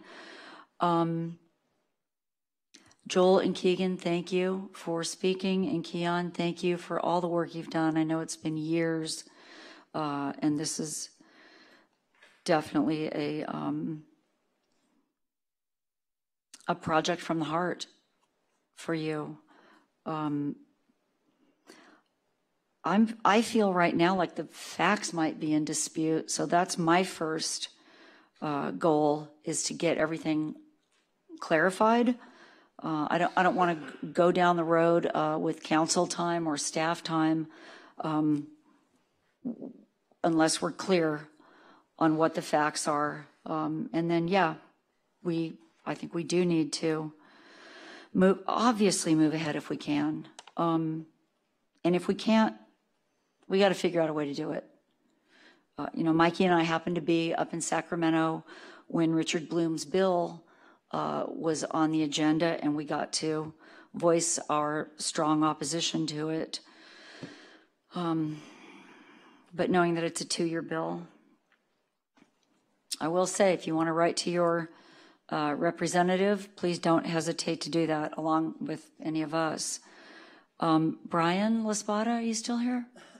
No. Well, um, I really appreciate what he's doing with the clergy clergy advisory council. Um, I'll be at that meeting at Lost Hills. I'm hoping as many of us uh, will be there as possible. And yeah, Brian is just an example of somebody who's trying to find solutions, um, not just getting up in arms about the problem. Um, and I will say this I haven't been to one conference since I got elected where homelessness was not on the agenda as a panel discussion uh, or some kind of item um, up for discussion. I, have heard solutions from other cities. I don't know if I'll call them solutions, um, things that other cities are doing. Some of them don't work here. Um, but yeah, we it's a growing problem. We can't deny that, and, and we're all seeing it with our own eyes every week. Um, and we need to find workable, empathetic, uh, real solutions. Barry, Lloyd, and anybody else who went down to the county supervisors meeting, man, um, I will say I wasn't surprised that we got a unanimous vote against our position, but it's very disheartening. And, um, you know, here we are less than a year after the Woolsey fire. Uh, you know, we just got demolished in that fire here. Our city took the hardest hit of any of them, and that completely fell on deaf ears. Uh, and it was framed as the most important thing being public access, as if there weren't any right now, um, as opposed to environmental preservation or public safety. So, you know, we're still working on it. That's all I can say. We're not, we're not uh, going home and giving up on that one. Um, Hans, are you here? No. Um, I also realized that um, the Malibu Triathlon is a great charity event. Um, as Michael said, raising uh, almost a million and a half dollars for pediatric cancer. But the city pays a price for it. And um, personally, I'm interested in looking into the fees versus, uh, you know, what they are right now, looking at the future and um, looking at the numbers, because that, that, event does bring in a lot, lot, lot of money. Um, Paul, thanks for acknowledging, if you're here, the progress on building. Um, permits are coming in more and more, and they're actually being issued. And we just, we need to continue to see progress, and we are. And I thank everybody. I thank the staff for, you know, making things as as I don't know if I can use the word easy as, as workable as possible and, and then pushing that work out. Um, Yolanda Bundy, thank you for being here tonight. Welcome to the city. Uh, I think you're going to find a lot of great people here uh, in our community and on the staff. And I too really, really appreciate the experience that you bring. Um, it's invaluable. And I will say that having met you a week or two ago, um, you just really come across as a person who values teamwork and has a very high level of professionalism. You've got critical experience with what you've gone through with Ventura County and the Thomas Fire and their rebuilding. And from everything I can see, you work from a place of empathy. And I really appreciate that. Um, and Heather and Doug, thank you. Seven years of fun. Thank you both for what you do. You're both incredibly professional. Um, your jobs require a lot of uh, attention to detail, and you're the right people for that. So, thank you. And here's to the next seven and maybe the next 27. So, um, trying to make this quick a little bit about what I've done.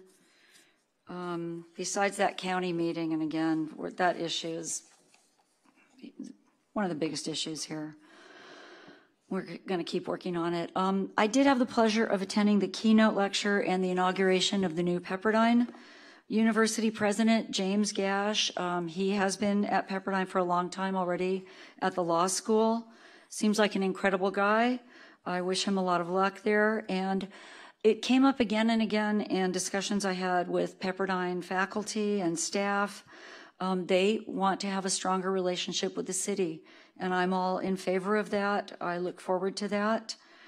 Um, and I don't know if it was a coincidence, but I had been asked, um, and I just participated in a panel discussion held by a Pepperdine professor um, about women in local government.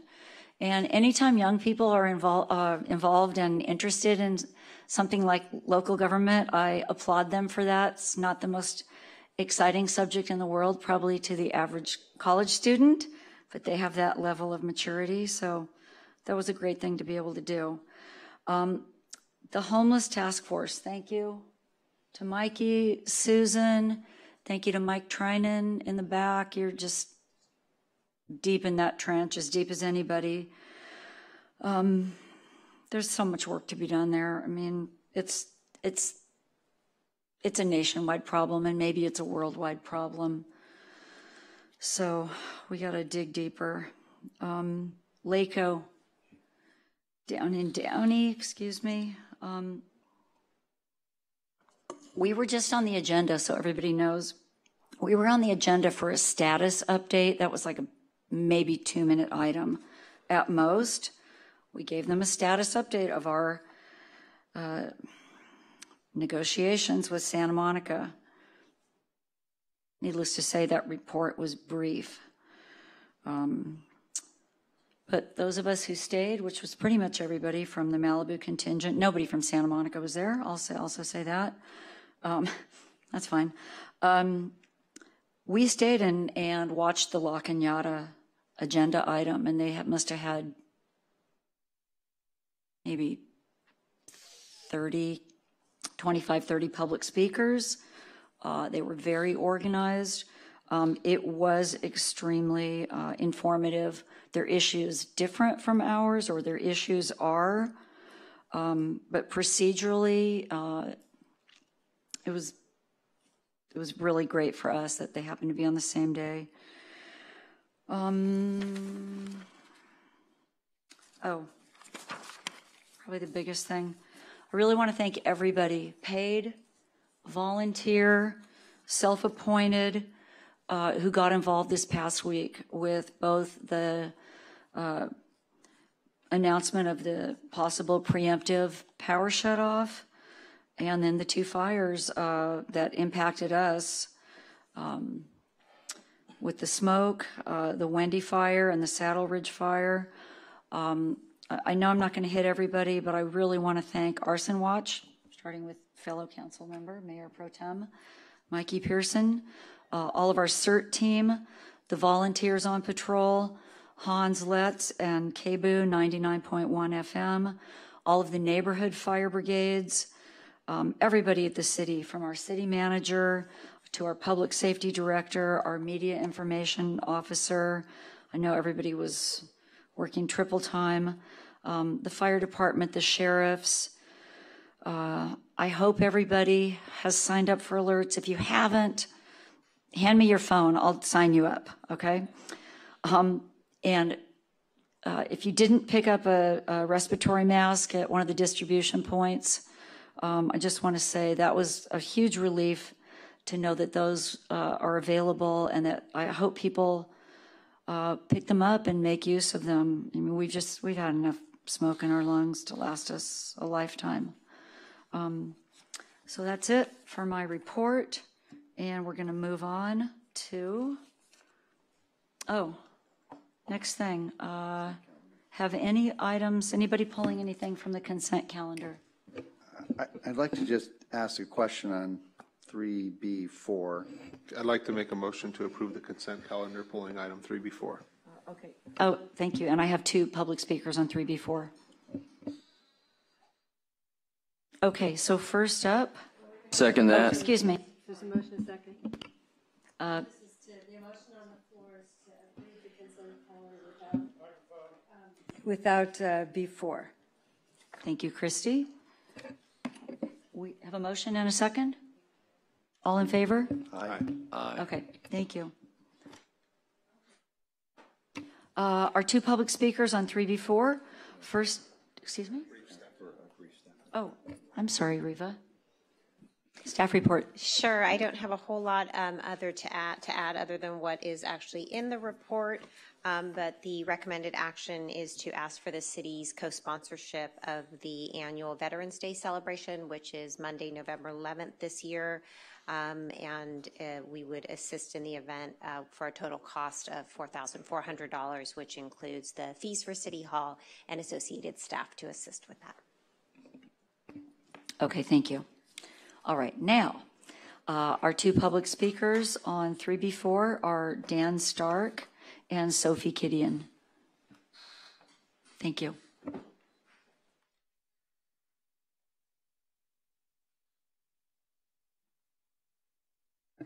Thank you for this opportunity to thank you, the City of Malibu, and uh, the, um, the event that we're having for the 20th year is coming up, and we wanted to invite everybody in Malibu to come, and in, we're going to be uh,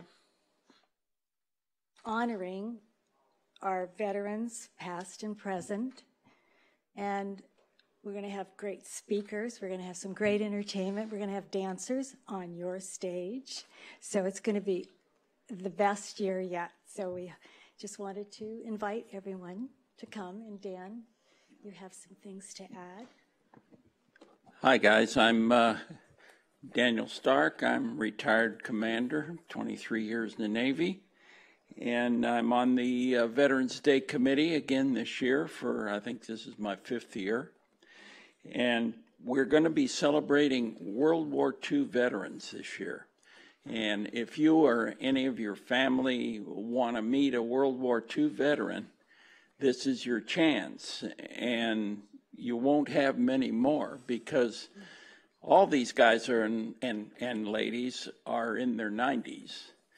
And uh, so I think it'll be on Monday, the 11th of November. Hopefully, we'll be here, is where we were last time.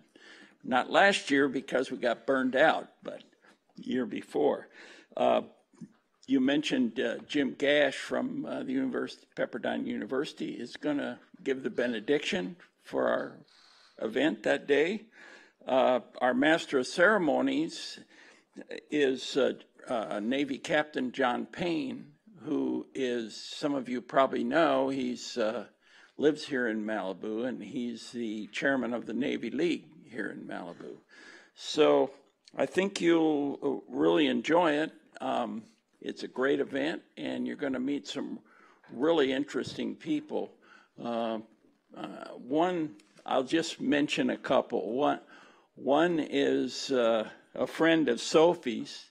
It's, it, she's a WAC from World War II. She's 97, and she'll be here, and she's sharp as a tack, so she's probably going to be one of our speakers. We also have a speaker who was in the Air Force in Europe, was shot down over over Germany in World War II and remained a, a prisoner of war uh, in Germany throughout the war, and he'll be one of our speakers. So I think you'll really enjoy it. Bring your families, your kid, your grandkids, your kids, everybody, and come and uh, and celebrate uh, the greatest generation because they're disappearing at a rapid rate. Thank you. Okay. Thank you. We look forward to that. Okay. Mikke, go ahead. Um, Thank you for that. That's going to be a great event. That's going to be great. I know my, my dad enlisted at 17. His mom signed some fake papers, I don't know what, and he went all the way to Okinawa and uh, somehow barely survived. So, yes, I, great, great event. I was going to say, should we as add this to the yearly work plan under the hope that a group comes forward to do it so we don't have to agendize it every year? Would that make sense as it's 20 straight years? And you know, I, I don't know, I just want input on that.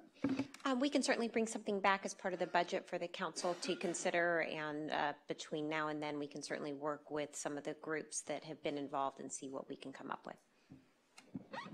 I'll make a motion to approve item 3B4. Second. All in favor? Aye. Aye. Aye. Are we now at 4A?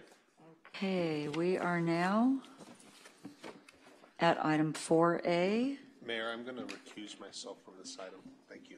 Okay, Skylar is recusing himself.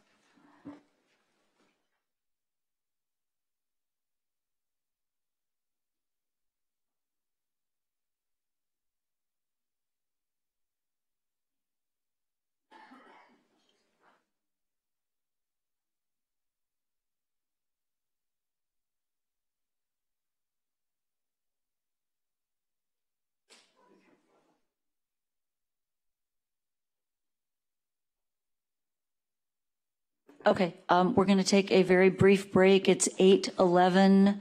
Can we come back in, can we say seven minutes? 8:18, mark your watch. Thank you.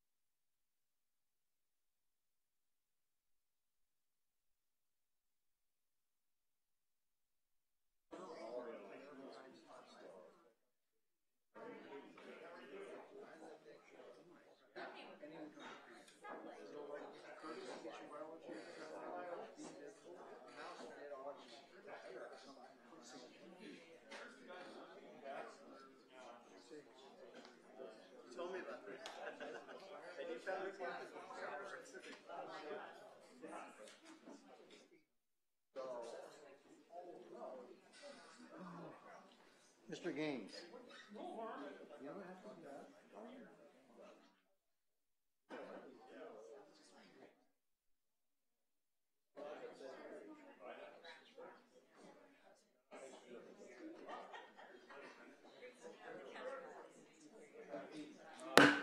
We ready, everybody? Ready?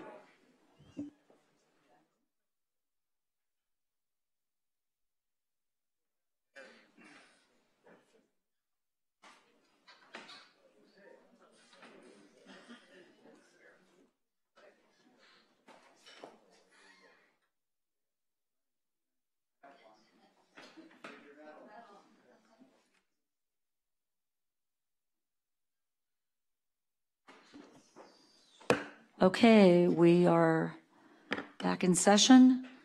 We are on to item number 4A, the appeal number 19-002, appeal of Planning Commission Resolution number 19-03, 29043 Gray Fox, appellant slash applicant Schmitz and Associates, Inc., property owner John and Tatiana Atwill. And this is continued from September 23rd, 2019. I have public speaker comments.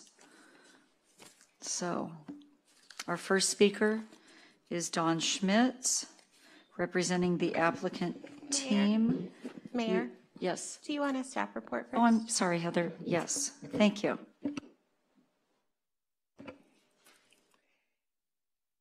Good evening, Madam Mayor and members of the City Council. Um, This item before you is the appeal of the Planning Commission's denial of CDP 17-043 and the associated request for a site plan review for proposed construction above the height of 18 feet. And to give you some background um, on this project, uh, the subject property is an infill lot um, located in the Point Dume area, um, approximately one third of a mile southwest of the intersection of PCH and Zumirez Drive. The property is developed with an existing single-family residence um, that's two stories and is surrounded by one and two-story development. And the project site is directly across the street from Point Dume Marine Science Elementary School, which has recently been renamed to Malibu Elementary School. The project proposes the demolition of the existing single-family residence and associated development. Um, The existing development is a little over 4,700 square feet and includes the construction of a new two-story residence um, at roughly about 7,600 square feet, which includes a 966 square foot attached garage, roughly 650 square feet of covered loggias um, split between the first and second floor. It also includes the installation of a new septic system and associated development, including, including a swimming pool, landscaping, retaining walls, and grading. This image is a site plan that shows the siding of the proposed residence. The entire shaded portion um, represents the footprint of the, of the proposed house. Um, the residence complies with all required setbacks. It provides a full 65 feet um, front yard setback from, from Gray Fox Street and honors um, the required side yard setbacks. The shaded portion represents the two-story component of the residence. As you can see, it's clustered along the western side of the property, which is where the larger setback is proposed. Um, The residence al- also proposes a setback from the stream at roughly 300 feet. That's to the north of the proposed residence. This image illustrates compliance with the two-thirds rule. Um, the two-thirds rule is a development standard for residential development. Um, it requires the second-story component of a residence be no more than two-thirds the square footage of the first floor. And again, as mentioned earlier, the two-story component is clustered along the western side of the property. Um, and in general, the application of the two-thirds rule basically breaks up the massing of a building. So we're not looking at like a box. It breaks up, it kind of provides an architectural articulation of a proposed residence. And this image um, demonstrates the south-facing um, um, portion of the building, which is visible from Gray Fox Street. Um, as you can see, over over one half of the residents facing Gray Fox is um, 18 feet and less. And again, as mentioned, the second story component is clustered along the western side of the property.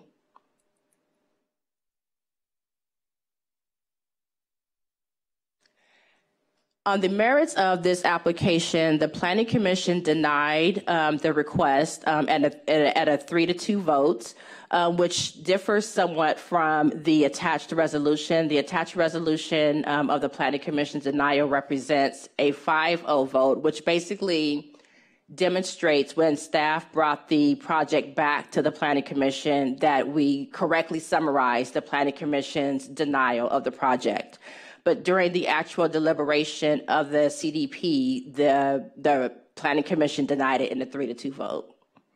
And the denial was based on two findings. One finding required for the coastal permit and the other finding required for the site plan review.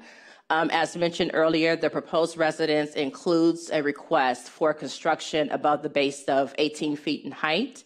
And without the site plan review, the project does not comply with the LCP hence the Planning Commission's denial of finding one for the coastal permit that the project does not conform to the LCP. The other, find, the other denial was based on the project's um, noncompliance with the neighborhood character. Um, the Planning Commission found that because of the project's size, bulk, and height, um, that it was significantly larger than the other um, existing development in the area and denied the site plan review request for consistency or compatibility with the, with the character of the neighborhood. The Planning Commission's denial was appealed by the applicant, who was also the appellant, and was based on um, two, two um, areas of contention. Um, the first of which that the there is substantial evidence on the, in the record that demonstrates the application is consistent with both the LCP and the Malibu Municipal Code. Um, the, both documents uh, provide residential development standards that govern the size, bulk, and massing of structures. Um, some of these standards include height, height requirements, and include, they include setback requirements, and there is a formula for um, calculating the maximum development square footage allowed on a property. After extensive review of the application, planning staff was able to find the project consistent with both the LCP and the Malibu Municipal Code, and has um, there's substantial evidence on the rec- in the record that demonstrates this conformance. The appellant also contends that the Planning Commission's denial was contrary to law, um, and Staff is aware that the the both the, the LCP and the Malibu Municipal Code, neither documents provide like a clear definition of what neighborhood character is. But in general, in planning principle, a neighborhood character, the neighborhood character is essentially what a person can visually see or what you feel when you're in a space.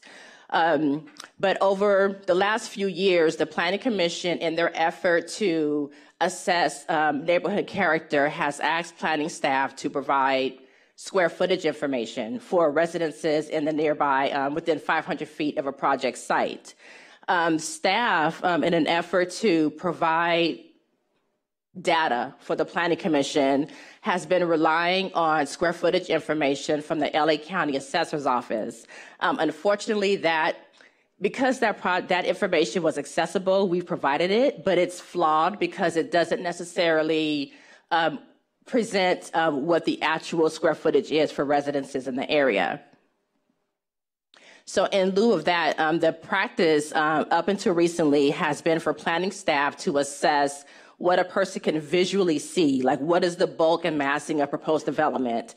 Um, and, and, coming up in a couple of slides, um, you'll see story poles that were placed on the project site that represent the proposed bulk and massing of the proposed project.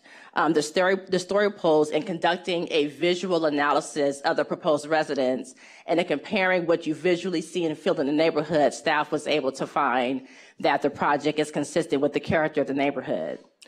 Unfortunately, um, during the Planning Commission's deliberation of uh, this particular coastal permit, they used the square footage information um, provided by the LA County's Assessor's Office and kind of used a sort of methodology which is similar to what the city has as a neighborhood standards process.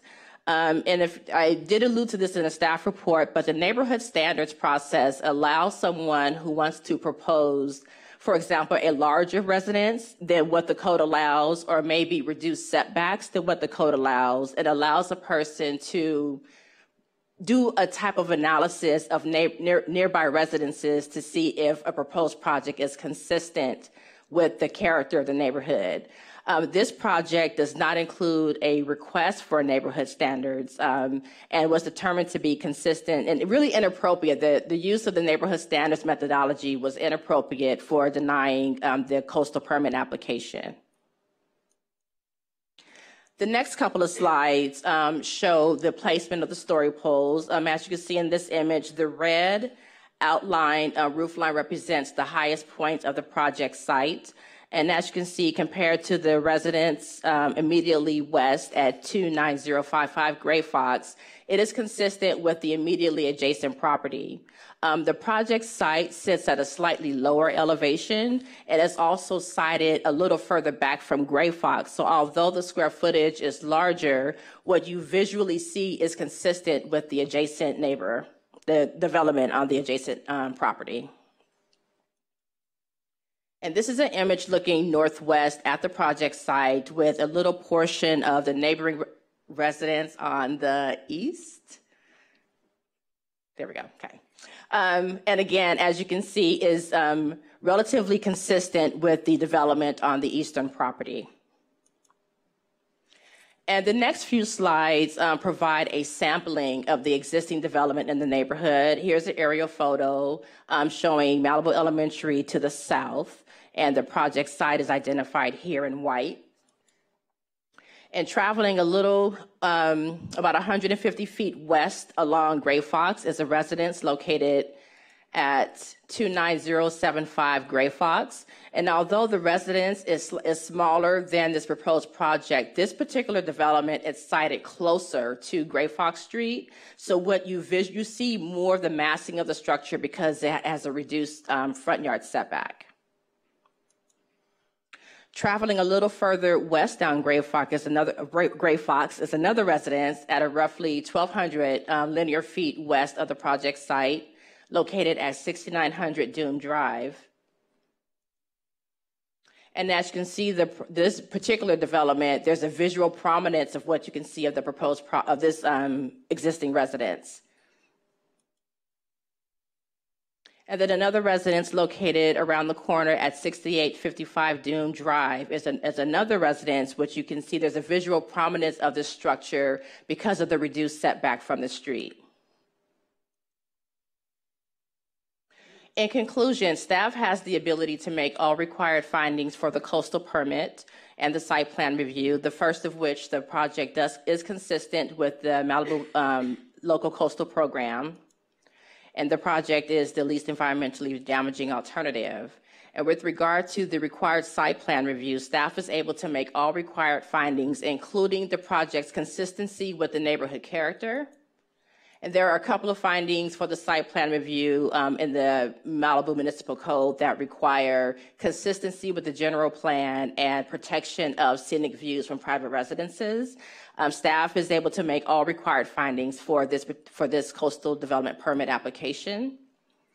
To date, staff has received correspondence from two sources, one of which is from the applicant and appellant, who provided additional analysis to demonstrate the, or to illustrate the development pattern in the immediate area. There was also um, some additional analysis that demonstrates that there is substantial evidence in the record that the project is consistent with the LCP and the municipal code. And there's additional um, information regarding the Planning Commission's denial, um, that, the, that the Planning Commission's denial is contrary to law. This morning, staff received um, a letter of opposition from the neighbor immediately east of the project site citing um, concerns regarding um, the incompatibility with the neighborhood character. And in the neighbors' correspondence, there is um, additional data regarding that provides square footage information of second story residences within five, 500 feet of the project site. And in conclusion, um, staff recommends the adoption of uh, resolution number 19-45, approving the subject coastal development permit application and the associated site plan review request. And this concludes my presentation, and I'm available for any questions. Thank you, Ren- Thank you, Renika. Okay, Mikke, you have a question? Hi, Renika. Thanks for your report. Um, what's, what is contrary to law? What, what, what were you referring to there? I was referring to the Planning Commission's deliberation on the project where they took, there's a, an attachment from the Planning Commission's um, agenda packet that includes a table of square footage information for residences um, within 500 feet of the project site. And in the Planning Commission's denial of the CDP, they basically took the square footage information um, and applied a similar approach to what one would use for a neighborhood standards request. Um, the neighborhood standards request allows a person to, so if the application was to exceed the maximum size of what the code allows, um, and taking square footage information for all residences, you take off the, the largest two, you take off the smallest two, and provide and do like an averaging process to determine if something is compatible with the neighborhood. But then that, that particular methodology is for a specific type of request, and that's not a part of this application. So was there, their methodology was, I understand using neighborhood standards is not correct in this incident. I totally get that. That's flawed. I'm trying to understand what was contrary to law. Was their finding contrary to law or their process to get there contrary to law? The basis for the denial was contrary to law. Because you're saying they based it on neighborhood standards is why it was contrary to law? I think the the um, project applicant could explain it a bit more. Their concern was that a different section of the code was being applied in the judgments that were being made at that hearing, that the, the hearing that evening. Because I'm looking at the resolution, and the resolution says doesn't mention that. I understand that maybe they use that as part of their decision making, but I'm just trying to understand contrary to law because that finding two doesn't. It mostly talks about neighborhood character. Okay, we can go on. I just want to understand what you meant by that because, okay, thank you very much. Okay, we have public comments. Um, let's see here. First is Don Schmitz, uh, and this is the applicant team. I have two speaker slips, Don Schmitz and Fred Gaines. And I believe you have 15 minutes, is that correct? Um, And would you, would you like to save part of that time for the Yes, rebuttal? Madam Mayor, I'd like to try and get through my presentation in 10 minutes and save five minutes for rebuttal. And before we start the clock, um, would, uh, would Councilman Pierson like me to address specifically his question? No, we'll get to Um, it. Okay. We'll get to it. That's fine. I was asking Councilman Pierson, City Attorney Christi Hogan, thank you. She's my Okay. legal representative in this Uh, situation. Would you put 10 minutes on the clock before you start to run it, please? Okay, thank you. Don Schmitz on behalf of the applicant. Uh, You've already seen the project location. We'd like to point out a couple salient facts for your deliberations tonight. You have an average of, and a mixture as accurately reflected in the staff report of one-story and two-story homes within a 500-foot radius of the subject property. Over half, 55% of the homes within this area are two stories. So more than half. So proposing a code compliant two story home is not inconsistent with the neighborhood character, just as long as we designed it correctly, which I'll talk about more. Also, the code goes on to define a neighborhood on section 1740040 that if you have natural features that divide up the area in that 500 foot radius, that you should not include that. So we have a canyon back behind the subject property, Gray Fox is on the left, Boniface is on the right. So if you take Boniface out of the equation, consistent with our code, uh, the mixture then changes where you have 54% of the homes, which are two-story, within the radius for the subject property. So the staff report does go on to say that you got this mixture of one-story and two-story residences, but Mr. Stockwell, who will be testifying to you, has stated in, in writing that he believes that it's mostly single-family homes within the neighborhood, which is not correct. Uh, Mr. Stockwell's home is two stories, uh, and two of the others are one story, and our existing home is two stories. So three out of the five are two stories. The immediate neighbor to the west of us uh, has wrote, written a letter of support, and she has a one-story home, and the two-story home component of our application will be closest to her. You've got the existing residence and a demolition plan, and this is what the house will look like pursuant to the story poles set back from the street. The two-story proposal is located in the area of the house, which is currently two stories. The, the, greenhouse burned down in the Woolsey fire. So here's the proposed development layout that you have right here, which is reflected in the staff report. And the area shaded in green of the two-story will be completely hidden behind the portion of the house fronting the street, which is in actuality two stories. The project complies with every aspect of the code for setbacks, and permeable lot coverage, landscaping, grading. We have a discretionary request for site plan review, which candidly is consistent with most of the approvals for homes approved by the city. Now, uh, uh, Mr. Stockwell has stated that we're maxing out the development. We're not. Uh, the TDSF is 8,000 square foot. We're proposing just about 7,600 square foot. He states that the turrets and, and, the bedrooms look right down on his property. First of all, the portion of the project next to his house is one story. It's 13 foot 9 inches setback, and currently the same size portion of the building is actually closer than what it is that we are proposing. So we're pulling this portion of the development back from his property. The turret itself, which is 28 foot tall, is 68 and a half feet from his property line. It is located uh, let me get to this part fast, 90 foot from uh, the tower to his studio that he has on his property. And as you can see, the vast majority of the second story will not be visible from the street. Oh, and by the way, it has no impacts on anybody's primary view as well. It's Mr. Stockwell's studio. We're 120 feet from his house, from the tower. As far as the master bedrooms go, we're 116 foot from his guest house, which is located below grade, as you can see uh, at the back part of his property, and 102 feet from his studio, which doesn't have windows facing our side, and 132 feet to the house. This design is not looming over, sorry, let me go back, does not loom over his residence. In fact, we went to great pains to make sure it didn't, and that's reflected in the staff report. Uh, as far as his property goes, uh, he did have a site plan review to have a uh, second story. And he did have a minor modification to reduce by 50% the front yard setback. In fact, he has a 32 and a half uh, foot front yard setback. We have the full 65 foot setback. And the next nine foot is just one story. Until you get to the second story, we're 74 feet setback from the street. And of course, the second story from the street view will be buried and hidden behind the second story, which faces the street. You literally will not see it. And this is reflected in the staff report as well in regards to the articulation and visual prominence, and that we are consistent with the patterns within the neighborhood. So let's take a look at the building footprints. This is really important as it pertains to the design. Uh, again, Mr. Stockwell's property, he has a 32 and a half foot setback. That's the view of his house from the street.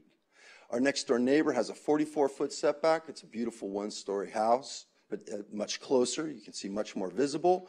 And this is the view looking uh, across that property, and this is the story pole line from what it is that we're proposing. We're not going to be out of character with this neighborhood. The next house was a 29075 was a house that was approved by the county right before cityhood. It has a very nominal uh, 20 foot front yard setback. It's two stories. Uh, and it's at a higher elevation, so it looms over the neighborhood. And then you've got another one-story house at 29089 Gray Fox, which is a full 65-foot front yard setback, and it fits in very nicely. And we are going to be consistent with that neighborhood character. Three out of the five properties in this immediate neighborhood are already two-story residences. If you continue on the two-story analysis, the staff has made the findings. Uh, they went actually a little bit further than we did, but uh, they talk about how we have the full setback and the design and how we are sensitive in our design and consistent with the neighborhood standards, uh, excuse me, the neighborhood character within the area. Wow, that was a bad Freudian slip. So let's take a look at the 500 foot radius. If you, if you go over to Grasswood, which is technically within that 500 foot radius, You've got a two-story house. Uh, 66% of it is over uh, over uh, two stories. You've got a one-story house, and then you have two two-story houses, uh, which are pretty significant. But if you take a look at them from an aerial photograph, they look quite dramatic. But if you look at them from the street with the enormous front yard setback, they're not obtrusive. They're not intrusive. They're not in anybody's face. Uh, right across the street from us, we have a school, as you're well aware. Incontrovertibly, that is part of the neighborhood character. And as you are aware, uh, very soon we're going to be building an additional 28 foot tall, 2,500 square foot building right across the street from this, this subject uh, house, which is before you tonight. If you want to continue along and, and take a look at Fernhill Drive, which is kind of around the corner, but it's technically within that radius, you got a one story house and then you got another two story house. It's a, it's a real hodgepodge. Uh, not exactly the same neighborhood, but within that radius. You got another one-story house, uh, two more actually right there off of Gray Fox. And then on Fern Hill, we had an opposition letter from a neighbor who was distressed that they could see the story poles uh, from their property, which is located 500 feet away from the proposed house. So I imagine that they can see it but I can see this house from my ranch up at the top of Latigo as well. I don't think it's going to be looming over their property. And the house that they have has a nice setback, 64 feet, and 60% of their house is two story facing the street. And as you can see, it's a much more monolithic design than the very beautiful Spanish colonial design that we incorporated into the application before you tonight. So we believe that your staff is correct when they, when they issued an administrative coastal development permit and when they made the recommendation to the Planning Commission and the recommendation to you tonight that LIP section 13.27.5 site plan review findings that the project does not adversely affect the neighborhood character. So let's take another look at a couple very important aspects of it. That's the second story in the application, which is before you. These brackets represent the massing of the second story for the three houses that are going to be on Gray Fox. Mr. Stockwell's is very de minimis. He's only got a 26 foot wide second story facing the street.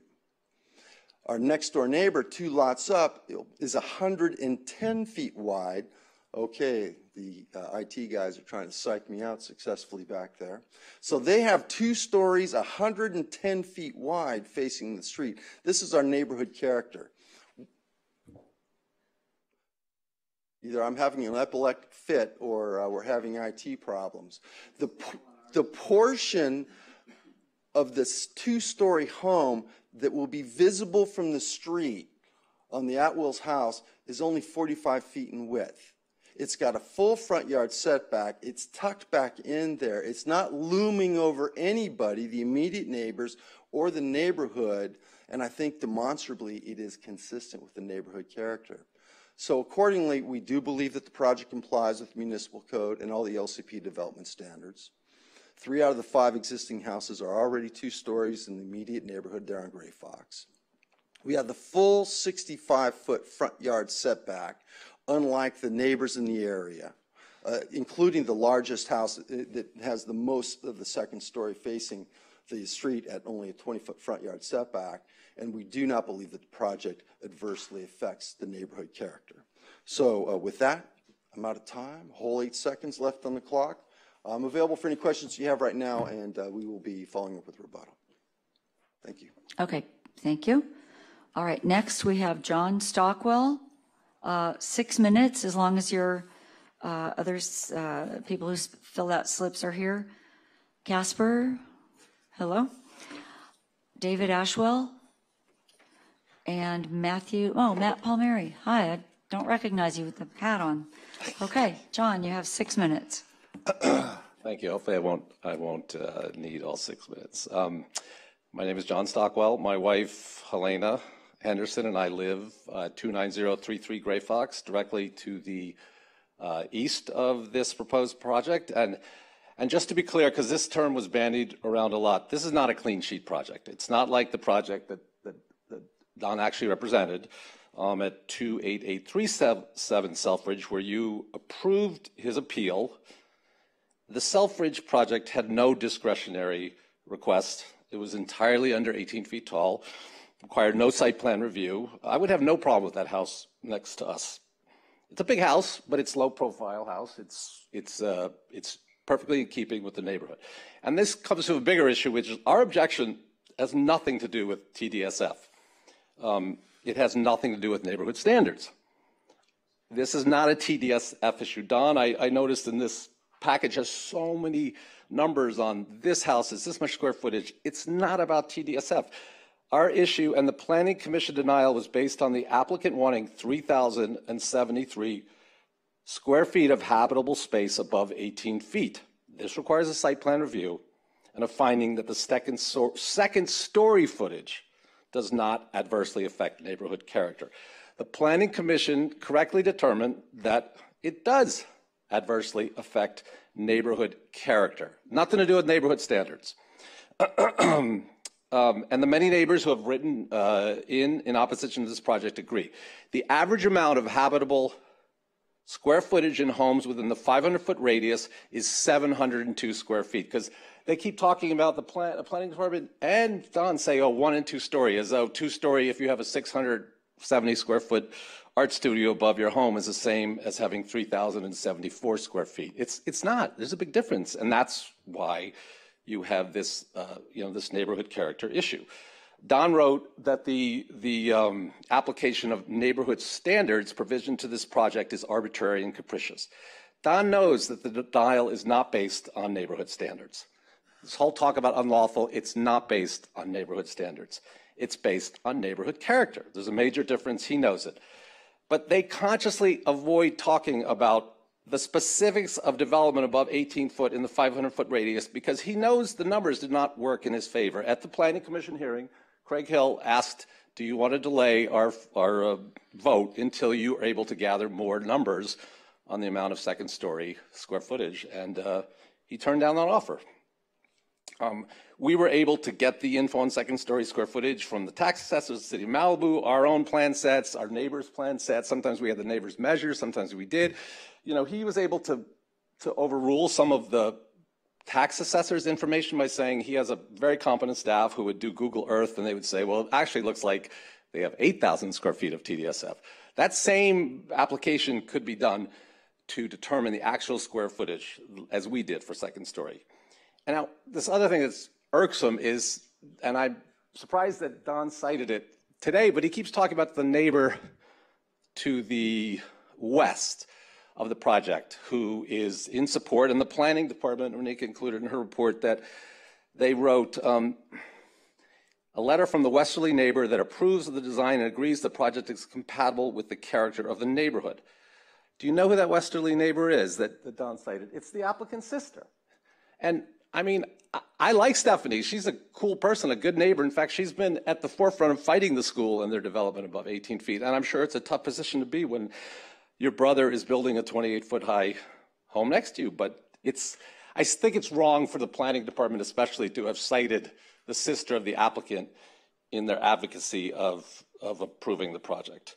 Um, and I also just want you all to remember that, because I was here for the TDSF reduction ordinance, and a lot of the people said, why are you just paying attention to TDSF? Why don't you pay attention to bulk and height and, and mass? Why are you treating you know, a single 8,000 square foot structure the same way as you treat four 2,000 square foot buildings that are spread out uh, uh, on the property? Um, this project is exactly what people had a problem with you know, a massive single 7,715 square foot home, 28 feet high, two story structure with 3,073 square foot of habitable space above 18 feet. And the reason for limiting height to 18 is because taller homes have a much bigger impact on a neighborhood. They reduce natural light, they reduce privacy, they impact views. And I know that, that Don is super confident. He knows because he advises these people in advance, hey, if you don't want to have a problem, you know, with the planning commission, with the neighbors, um, he probably would have done what he did with his clients in Selfridge and tell them, you know, if you're going to propose a house with this much amount of second story square, footage, four times more than the average of second story of other homes in the neighborhood, then you're going to have issues with the neighborhood and the planning commission. We made our decision. We built a 674 square foot uh, studio above 18 feet because we did a survey with Doug Burdge and we realized that the average number of development in the 500 foot radius was 702 square feet. So we made sure we stayed under that number. And, you know, that we went to, even then, we, you know, Holly was our planner. She said, look, you're way under the numbers, but you should go to your neighbors, show them your plans, work with them. Charlene, old school point person, said, get rid of all your windows. The reason you don't see windows on that side of the property is because Charlene wanted us to get rid of them, so nothing would be looking down. We said, okay, fine. And then she said, I want you to move your, your studio further towards my property. And we're like, that doesn't make a lot of sense, but if you want it, okay, we'll do it. And we work with her. And, you know, that's the way all of Malibu should work, I think, you know. And, and I believe the planning John. commission has taken a lot of heat for some misguided things, but I think in this case, they were using the neighborhood character argument and not the neighborhood standards. Thank you, John. Okay, we have one more speaker, uh, John Mazza.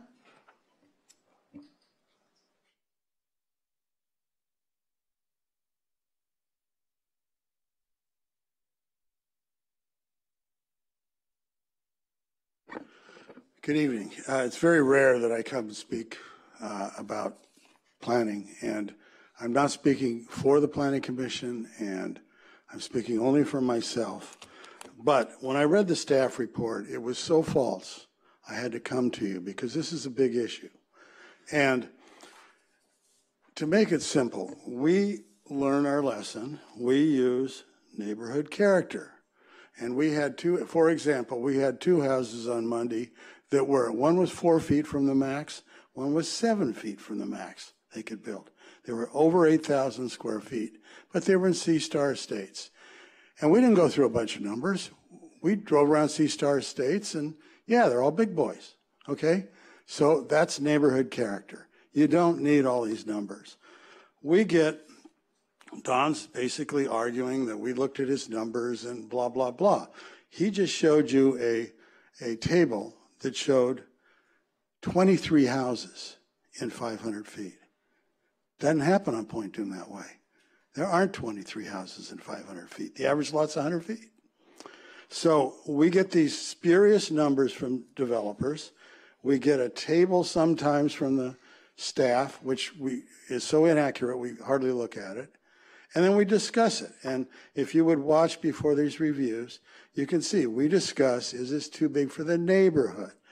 Uh, you drive down uh, Gray Fox, you drive down Fernhill, uh, you see all these 50s houses. They're all 2,500 square feet. And then every once in a while, Donna can pick out a house that's huge, okay? It Was built by the county or blah, blah, blah. It's not the three houses next to anything. It's what is the neighborhood like? And we've been told don't use neighborhood standards for a neighborhood character finding. We are required to make a neighborhood character finding. This you cannot get a LC, uh, CDP without it if you have to, a site plan review. Staff can't give findings. You can, okay? You're going to have to say, we studied this, we studied this house in general, and we used an illegal method. But we didn't. So when you look at this, think, do you as a council, can you make a finding that's contrary to what the, the planning commission did by discussing how big this house was and what the neighborhoods was like and what this, how big the second floor was? You should think about that because you're the one to determine this. It's not coming from a table. It's not the average throwing out the top one and the bottom one. That doesn't happen anymore. And we learned, okay? This house requires that finding, period. You cannot give a CDP without it, and you have to decide that's true. Thank you. Thank you. Okay. Council members? Oh, he has five more minutes. Oh, I'm sorry, Don. Sorry about that. Okay, five minutes of rebuttal.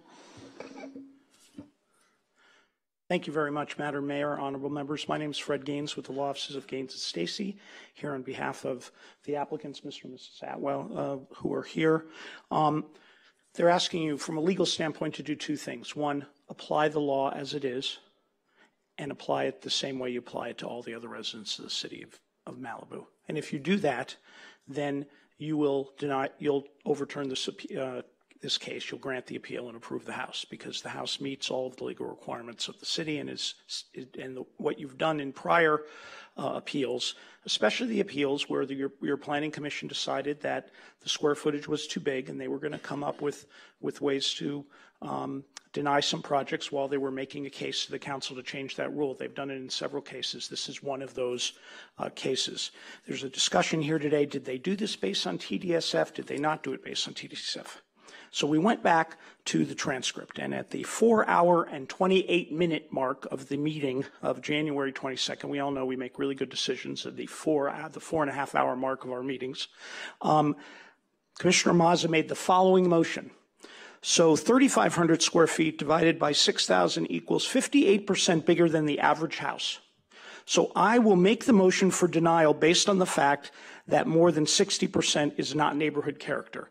It was a complete and total TDSF calculation. He said this house, under his calculation of the numbers, was 60% bigger, 58% bigger than others in the area, and therefore I move for denial based on neighborhood character. That's why it was contrary to law, because TDSF is on the chart. It met the, the qualifications of the chart. Then they went off into neighborhood character, which is not TDSF, it's other factors. But the motion was clearly based on the TDSF, which is exactly what they did in the other cases.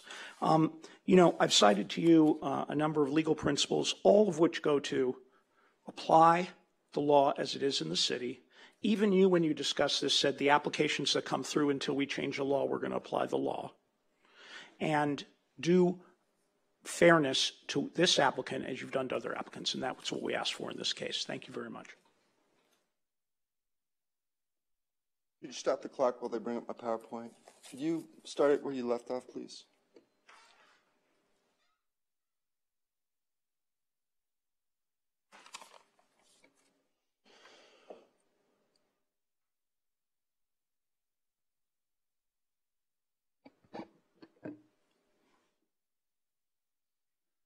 Long, embarrassing silence.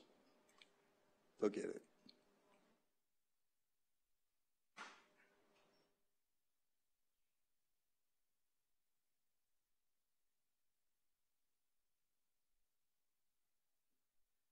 It's not going to happen. Problem?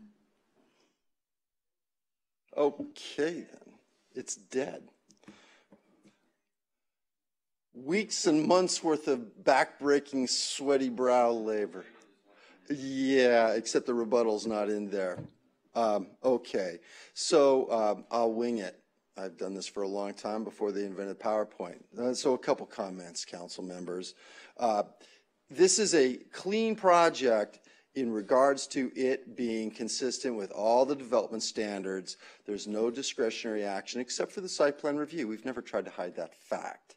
And the precedent given by your staff in regards to projects that you overturned denials uh, by the Planning Commission were two-story homes that had site plan review. Mr. Stockwell cherry-picked and he talked about the one-story home on Selfridge. But the fact of the matter is, incontrovertibly, Mr. Stockwell and my friend John Mazza are trying to rewrite history because I was at that hearing. I listened to their deliberations. I had meetings with them, and they are the ones that required your staff and me to give endless numbers, which they're now calling spurious, and, and I have a problem with that type of characterization, in regards to the size of the homes in the area. And they said quite unequivocally that they were denying this house, not because they did some concise analysis on the second story, but because they thought that the house overall was too big. And I'm glad that they've gotten the message now that this council's given a clear direction to them. But this was back in January. And back in January, that is precisely what the Planning Commission, or at least the majority of them, were doing. Uh, Commissioner Jennings and, uh, and, and Steve voted uh, to approve the project. if you can look back in your mind's eye and in the handout I gave you, and you take a look at the design of this house and the second story, it would be one thing if the front part facing the street was all two story, but it's not. The majority of the house facing the street is a one story, 18 foot tall house. We have a narrow band, 45 feet wide, that's two story, right? And then everything else back behind it is two story, and you can't see it from the street.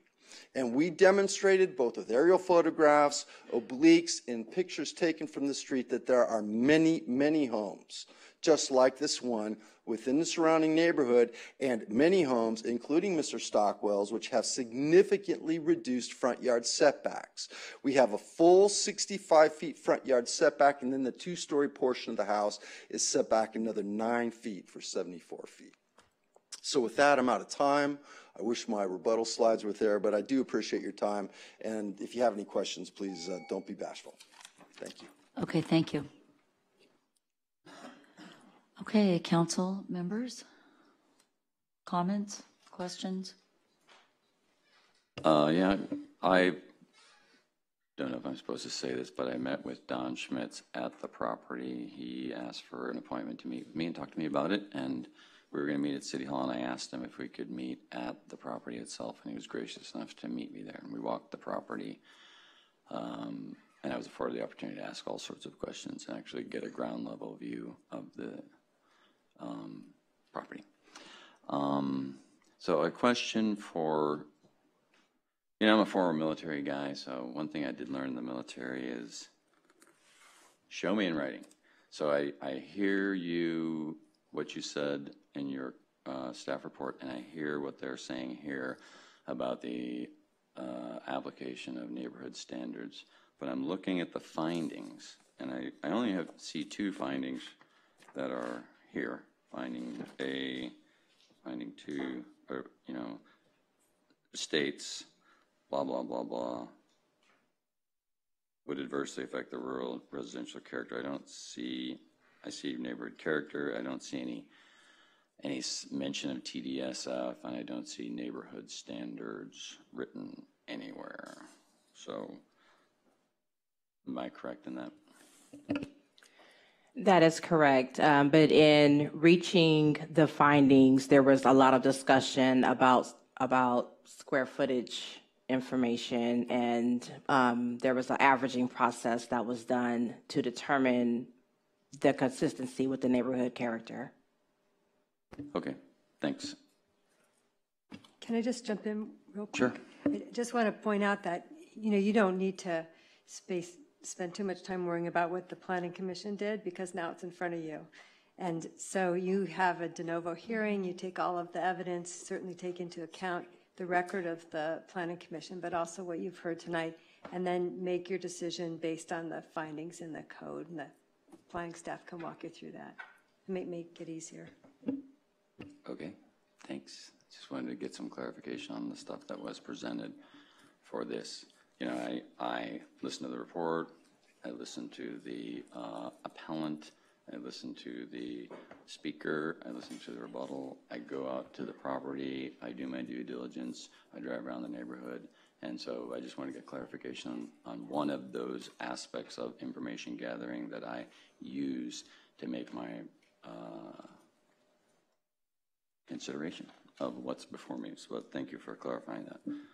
Um, the house with the, you know, you showed all, if you don't mind me asking, the house with the 110 foot frontage, you know, where you showed all those profiles, that was the county house, right? Yes, sir, uh, through the chair. Uh, that uh, project was approved and built uh, under county permits uh, shortly before incorporation of the city of Malibu. Okay, thanks. Yeah. Yeah, I, you know, when I drive around the neighborhood and I look at these projects, I always try to find the thing that jumps out at you, and it's like, what's wrong with this picture? There's one of these things is not like the other, and that was the building that stood out to me. I looked at that county building and I said, uh, this is from a previous era, and it's just, um, even though it doesn't really look that big here, it's definitely different than the other buildings in the area. You know, I drove all around Grasswood, and there are some two-story buildings on Grasswood that are kind of interesting because the street level view is the second story. You know, they're two-story houses, and you drive by, they're super low profile. Not all of them, but, uh, and even they're building a new one on Grasswood, and looks to be a one-story building. And I was impressed with the fact that the house on either side of this property the the craftsman style one. I don't know if I'm using the proper expression. Maybe it's arts and crafts. The layman's expression is craftsman. Looks to be a new house, or certainly a new remodel. I mean, it's in great shape, and that's a one-story building. And um, uh, the other house on the other side is a one-story building with that one art studio thing that's coming up. So I was impressed with the fact that there are some relatively new buildings that have gone into that area that are one story and ones that are being built um, that are one story. So when I looked at that and I drove around the area before I met you and after I met you, and in, today I went back out there and just did a general reconnaissance of the whole area, I definitely got the impression that everything was a little more low profile and that one county building did kind of stand out as like, this is not fit in with the neighborhood. So um, that's, it looked to me like the property is um, certainly large enough to do a lot of different things on it. And it was just, um, anyway, my impressions were that everything out there is generally low profile. Yeah, there's some, there's some outliers that are bigger than the others. When, and, you know, it's funny because you talk about what does it look like from the street. Well, you know, that street goes up and then it also you go up it and you go down it. And you can see a little more of things when you go up or down so it's not all just ground level. Anyway those are um, some of my comments. I i don't see any me personally have, see any compelling reason uh, in the presentation that we've got to change the uh, decision of the planning commission from what i saw going out there and from what I read as their reason. But I'd like to hear what the other council members have to say, and I'll withhold my final determination until I hear what they have to say.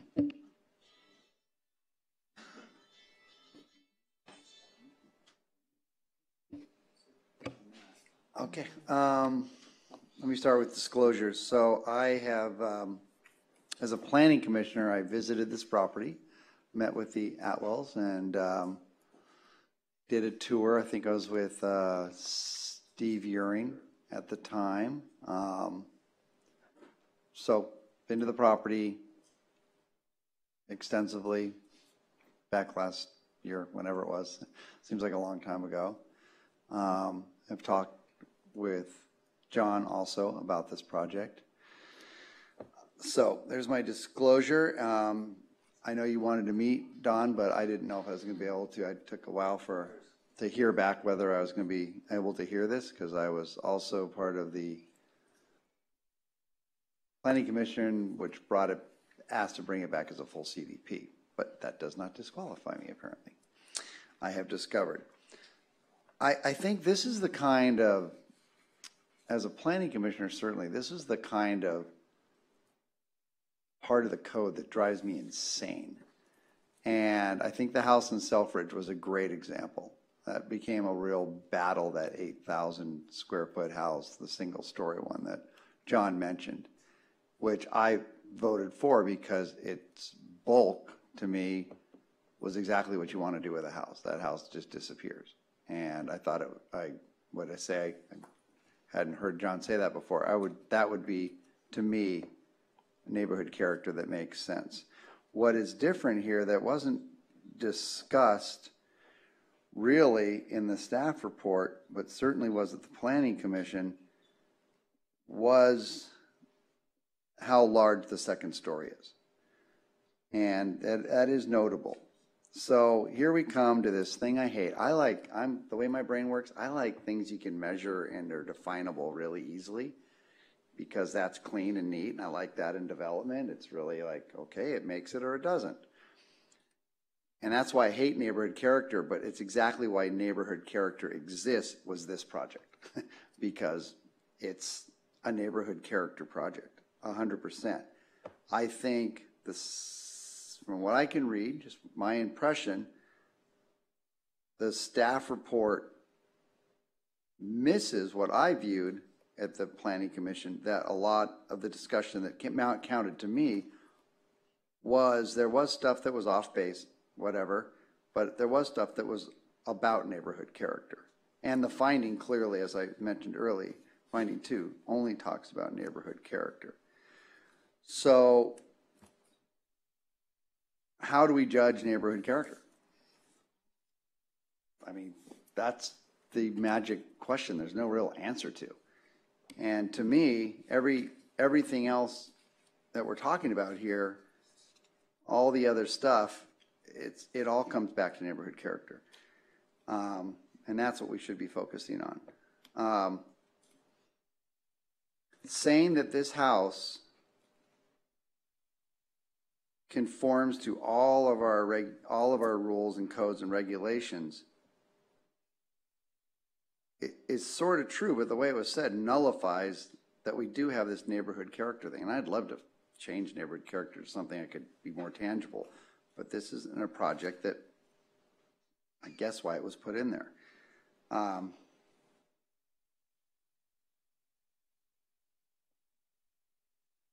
I think the planning commission went about this in an odd way.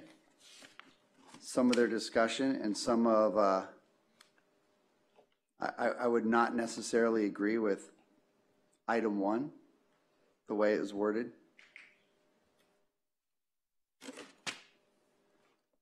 Finding two, I find myself in a situation. I'm supposed to now define neighborhood character, I guess. And I don't think, as we sit here, I have the data to overturn their decision on that item. Item one, I do, and item two, I simply don't.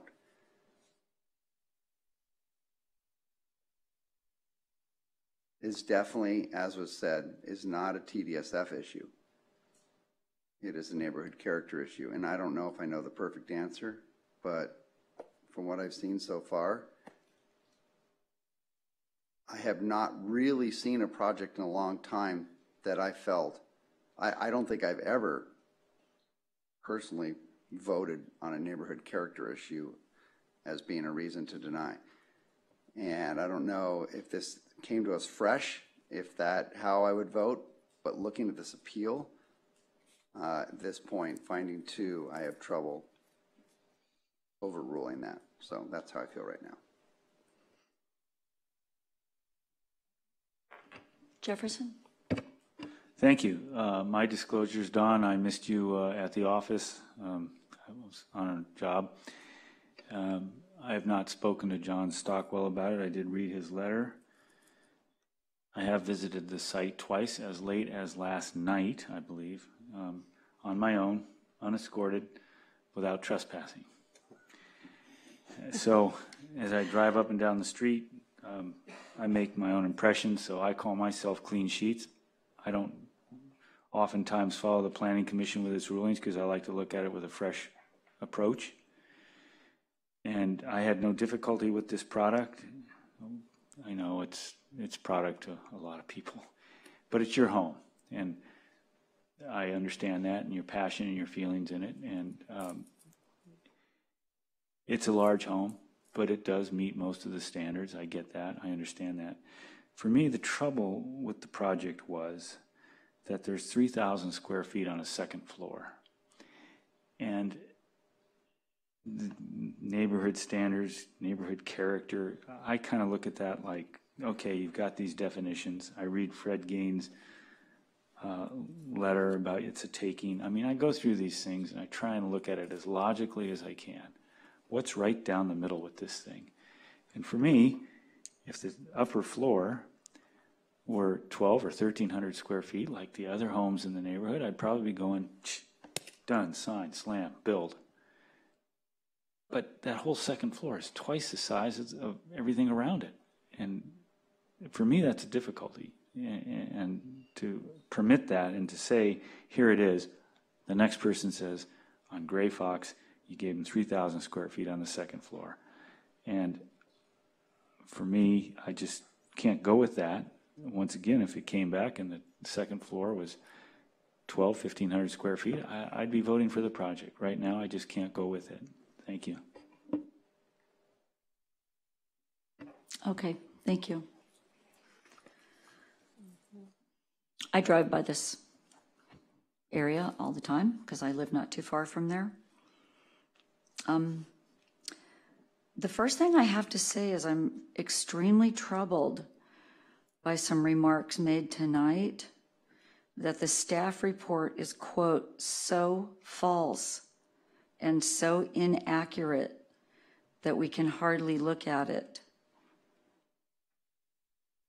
I don't want to be on the council. I certainly don't want to be the mayor of a city that is generating false staff reports. So let's clear that up for starters. Renika,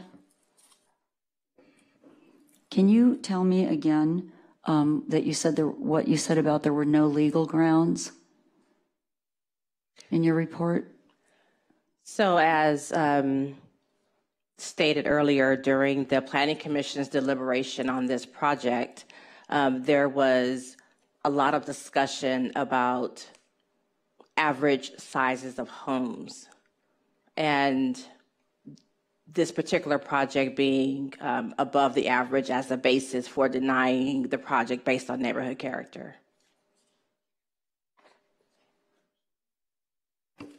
Okay, thank you.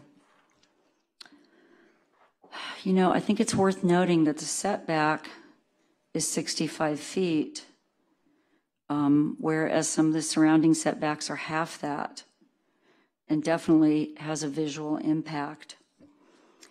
Um, I also consider a huge part of my job here is to keep the city on legally defensible grounds. So Would anyone like to make a motion? And if not, I will. I'd like to ask a quick question that, that you brought up, uh, directed to Christi. So are we supposed to make our findings here based on conversations we're not necessarily privy to at a planning commission are based on the findings? Because what we're presenting I'm not exactly here. sure what that was. It sounded loaded. Okay, Uh, well, no, no, no, I just, it's a serious question. It's not meant to Here- be loaded. So we've had a lot of talk about what happened at the planning commission, but then we have our report. Right. And the report has findings. Right. So I'm used to making decisions based on findings, but it Right. seems to be a lot of energy in the Right. room on potentially talking about what, Right, and I was, I wasn't there. I Right. did view part of it. great, okay. And I if get that's supposed to be part of our decision, then that's what I'm curious about. Right. So in public hearings, this one no exception, you're going to hear a lot of irrelevant things because, you know, it's hard not to just raise everything you can think of to either support or oppose a project. So we know that. What your job is, is to sift through everything you hear and identify those pieces of evidence that would help support the findings that are required. So the ones that you're looking at tonight, for example, um, the one you seem to be talking about the most is that the project adversely affects neighborhood character. So the evidence you have has to do with the size of it and its setback, and those are the numbers. And then you have to make a, a qualitative judgment and analysis of whether or not that those facts would result in an adverse effect to the neighborhood or not.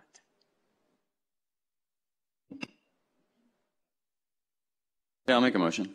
I'd like to make a motion to deny the appeal. Uh, second it. Okay, should we do, uh, Dawn, excuse me, can we do this? Madam Mayor, may I make a quick uh, request? I'm hearing uh, concerns about some of the information, that there's not enough information. Uh, We definitely uh, believe in this, this uh, council. Uh, As opposed to walking out of here with a denial, I'm certainly prepared to uh, work with your staff to see if there's things we can do to tweak this, to garner the favor of this council. Additionally, there's a point of fairness that I am concerned about. Uh, We received the data from Mr. Stockwell. It was emailed to me at 3:34 o'clock today. I've not had the opportunity to check those numbers as it pertains to the second stories. I've heard comments from a number of council members that that's an important issue to them. So my plea to the council tonight would be if you can put this off, allow us to work with your staff, clarify the numbers, see what we can do here to address some of the concerns we've heard. We've never been in a position where we're trying to ramrod this. We do want to work with the city to get something done here. Okay, so are we tabling So, this? no, well, his request is um, for a continuance, but the issue is that if there are changes that are going to be made to the project in order to respond to the concerns, it really should be heard by the planning commission first, and then maybe that would get resolved. So my suggestion would be either you vote on the motion that's on the floor, or um, if you want to consider an alternative, it would be to remand it back to the planning commission to consider any revisions that the, um, that the uh, applicants want to make. But I, you know, that's, that's what I would suggest. I'm not, I don't know what, I mean, continuing it, I don't, the staff doesn't really have the authority to negotiate a different design that isn't also seen by the planning commission. That's just our process. Okay, thank you. So we could uh, move forward with uh, sending it back, um, honoring Don Schmitz's request to give us a second whack at this, which Sounds like what he's saying is, he's going to bring some more numbers to support this project, not a redesign project. So I want to clarify that. That's not, that's not what we're saying. We heard the comments and we're going to read them. Okay. In the interest of fairness, since Don got to speak, John, go ahead. I just want to just say that if this is coming back to you, you may want to, Procedural only. you, yeah, you may, you may I want to really be careful what you say if you want to participate on this. If you deny the project, it will come back to us as a new submittal. Um, Right, the issue is, uh, has to do with the, the fees that they pay and the time that they invest, and, you know, if they're, if they're, like, this really ends up being a question about the square footage of the second story, do you really want to send them back to the beginning of the queue and pay a bunch of fees all over again when, you know, you've got fire rebuilds that you're trying to push through, so. But you also have a staff that has to work for free if you do that.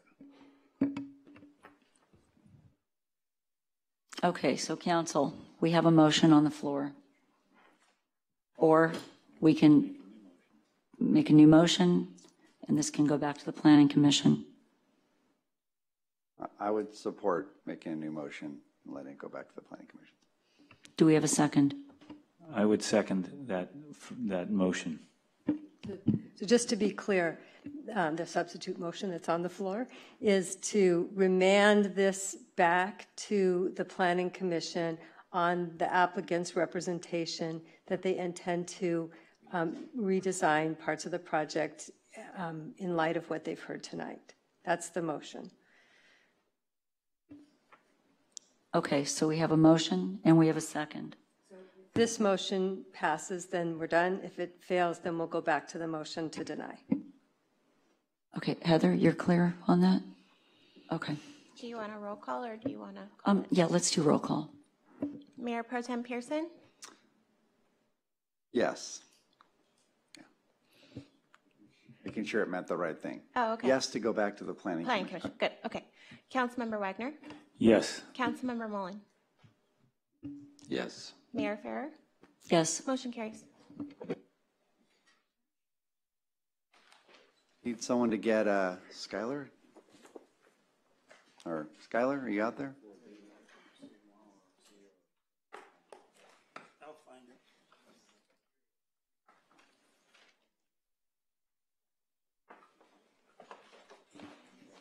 it. Okay, Skylar, there you are. All right, our next item is 4B.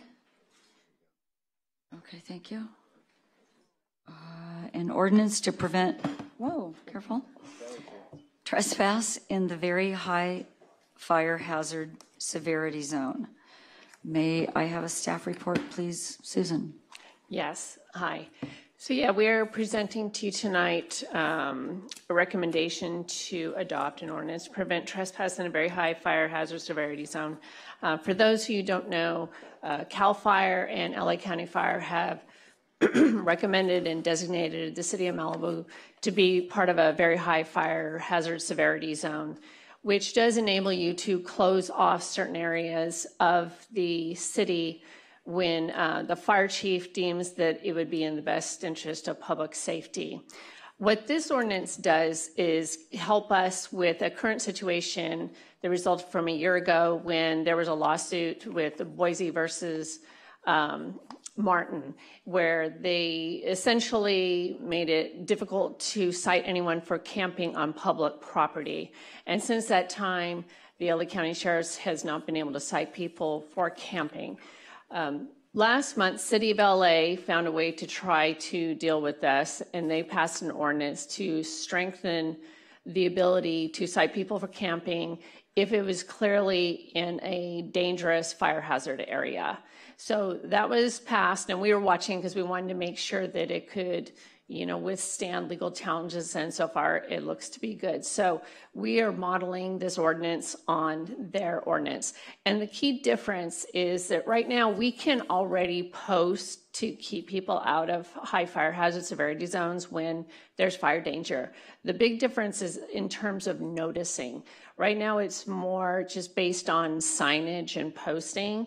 Um, what this ordinance will allow us to do, will also be able to do verbal notifications because, you know, obviously you can't put a sign in every single area and someone could argue, well, I didn't see the sign. Um, and then it just makes it more difficult to remove people. So this ordinance allows to be able to give deputies to do a verbal notification that, you know, this is a very high fire hazard severity zone and you need to leave, it's trespassing. And essentially, they would have the power to arrest them for trespass on public property during these times. So if we adopt this, the next um, step would then be to put together implementation procedures, which would also probably be modeled on City of LA, because we don't want to come off as looking like we're trying to criminalize homelessness and punish people who have nowhere else to be. We want to be very clear that we're really uh, more interested in enforcing these rules when we're having red flag, when there's Santa Anas, when it's clearly a public safety threat to everyone involved. So that would be, you know, put together in the implementation of how this is enforced. Thank you, Susan. Can I ask you a quick question? Yeah. Where, in that situation, do we have a thought on where the sheriffs will ask the individual or individuals to go?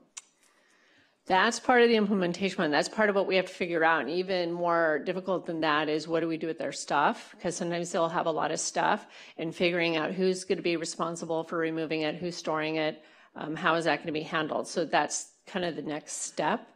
Um, but first we need the ordinance and then we'll put together the implementation guidelines working with the sheriff's department um, to make sure that we have a workable way of enforcing this. Okay, thank you. All right, we've got a few public speakers. Um, I will call you, and if you can please try to come to the front to save time in between. Danielle Harrington, Marina Sanget, I'm sorry if I'm butchering your last name, Georgia Goldfarb, and Rosie Strickland. Hello, good evening, Mayor and Council members. My name is Danielle. I'm a student at Pepperdine um, School of Public Policy. I'm here tonight to speak, obviously, on item 4B. Um, my initial reaction to this was a lot of concern just for the Malibu homeless population. Um, so I hope that if this is to move forward, that in the implementation phase, um, you really take consideration of those people and um, where they're going to be displaced, where they're going to go. I that was my first question as well. Um, and then not only that, but trying to continuously make sure that they are safe in these times, um, especially with like the Woolsey fire and everything like that that had recently happened. I, I guess I'm not familiar with how you communicate with those types of populations in an emergency situation. Um, so I hope that those things are considered in the implementation of this. Thank you. Thank you, Danielle. Next is Marina. Help me with your last name. I thought we were going to take them to the dorms at Pepperdine. What? Sorry, go ahead. Marina Marina Sangit. You got Sangit, thank you. And then Georgia Goldfarb and Rosie Strickland. So, good evening, council members and mayors. My name is Marina, and I too am a graduate student up at the School of Public Policy. Um, I specialize in state and local policy, but I'm really interested in social welfare policies as well as crisis management. So, when I read 4B, which is this ordinance that the city is putting forth, I was really excited that I believe the intent is to save and to save human lives and prevent the loss of human life. Um, I think I want to echo my colleagues' concerns in saying that during the implementation phase, if this ordinance does pass, that the council takes a really thoughtful and mindful approach on what happens to this homeless population and if there's any routes for them um, in terms of displacements, are there resources that they can be connected to if they are asked to leave? Um, once again, I do want to thank the City Council and the Mayor for thinking such thoughtful and proactive um, policymaking actions, and thank you for your time. Okay, thank you, Marina. Georgia Goldfarb, followed by Rosie Strickland.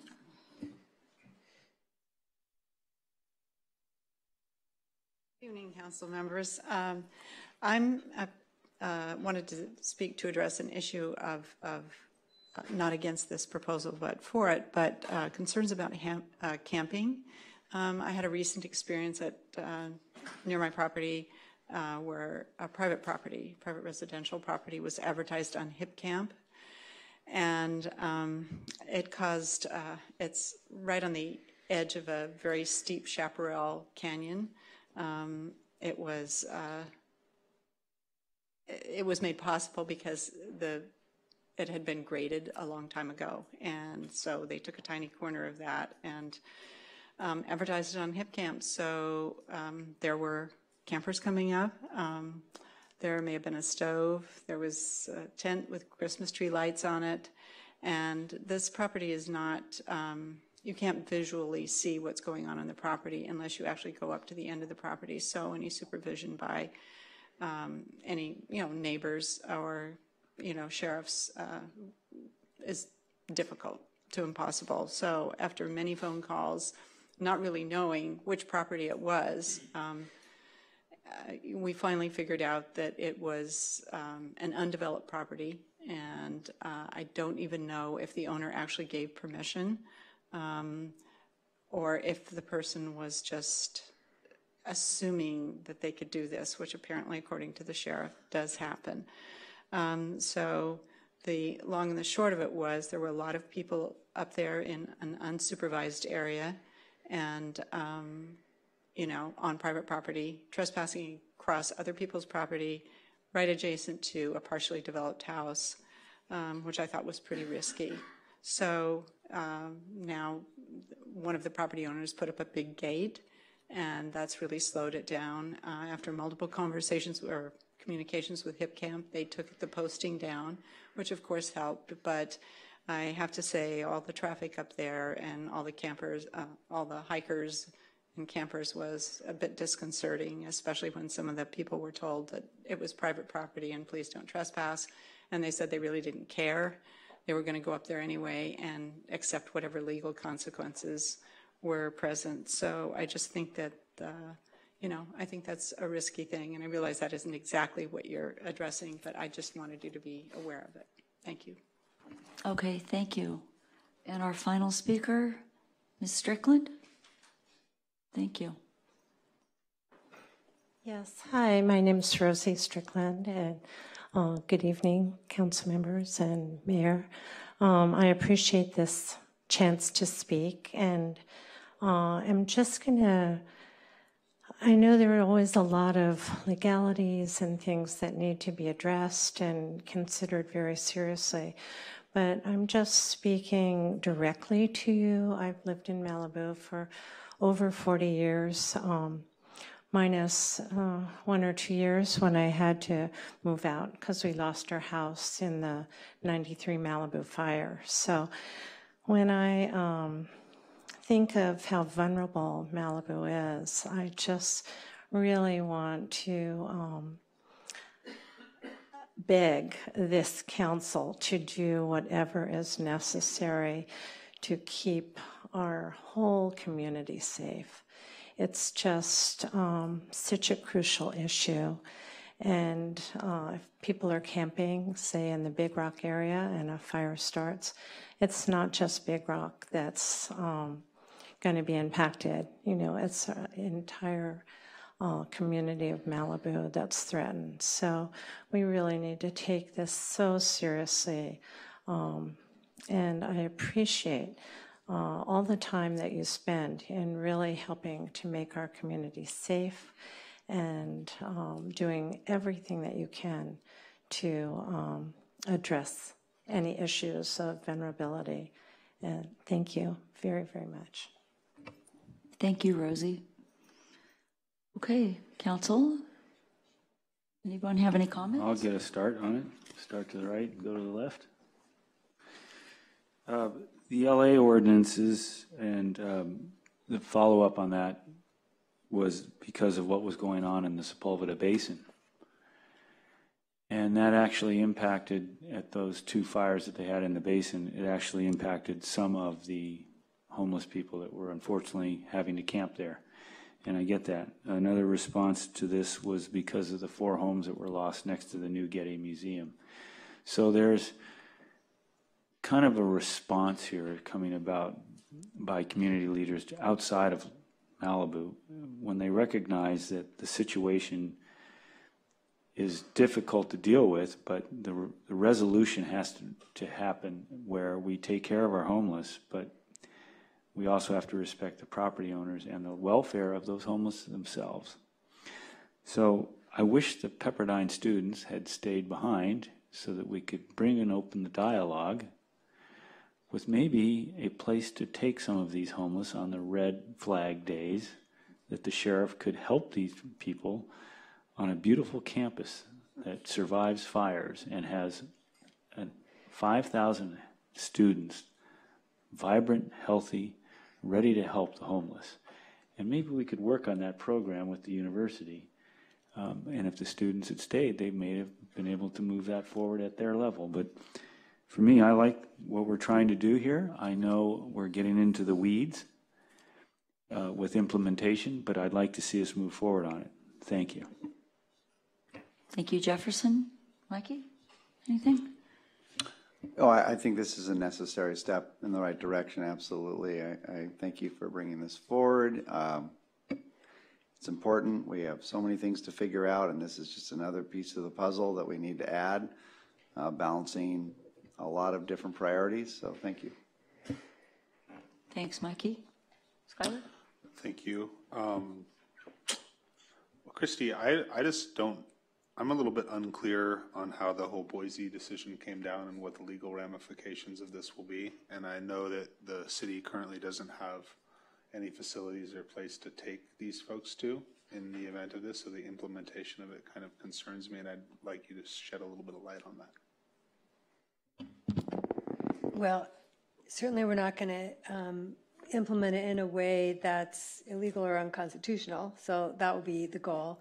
Um, and there are some resources and resource agencies that the city can partner with so that there, you know, is a place. I think the idea is it doesn't necessarily have to be, you know, within a one mile radius of where a person's staying, but there you can't um, push somebody out who has nowhere else to go. And so as long as there are available beds and resources, then um, it's a lawful, I, we believe, a lawful restriction given we're balancing against the high fire hazard. Thank you. Uh, I don't have any comments. I support it. I'd like to make a motion to, um, what are we doing this? Passing this, accepting it? Introducing it. I'll second. So, Madam Mayor, the motion on the floor is to introduce on first reading an ordinance of the City of Malibu, California, amending Chapter 8.12 of Title 8 of the Malibu Municipal Code to add provisions for very high fire hazard se- severity zones and finding the same exempt from the California Environmental Quality Act. Thank you, Christi. Okay, we have a motion and a second. All in favor? Aye. Aye. Aye, with a little bit of legal reservation. That was an aye, yes, Skylar? Yes. Thank you.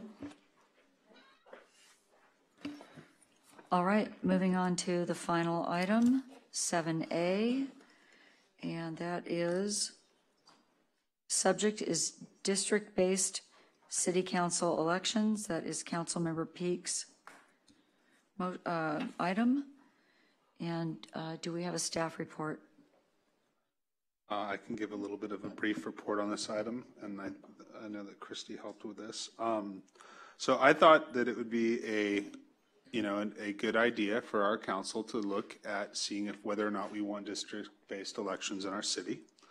Um, I think that we've often fought for, you know, people to have the best representation uh, when it comes to electing people to the council, and I think that this is a way that sort of spreads out that representation uh, throughout the city and makes it so that any area that probably wouldn't feel as represented right now may feel uh, better represented in the future.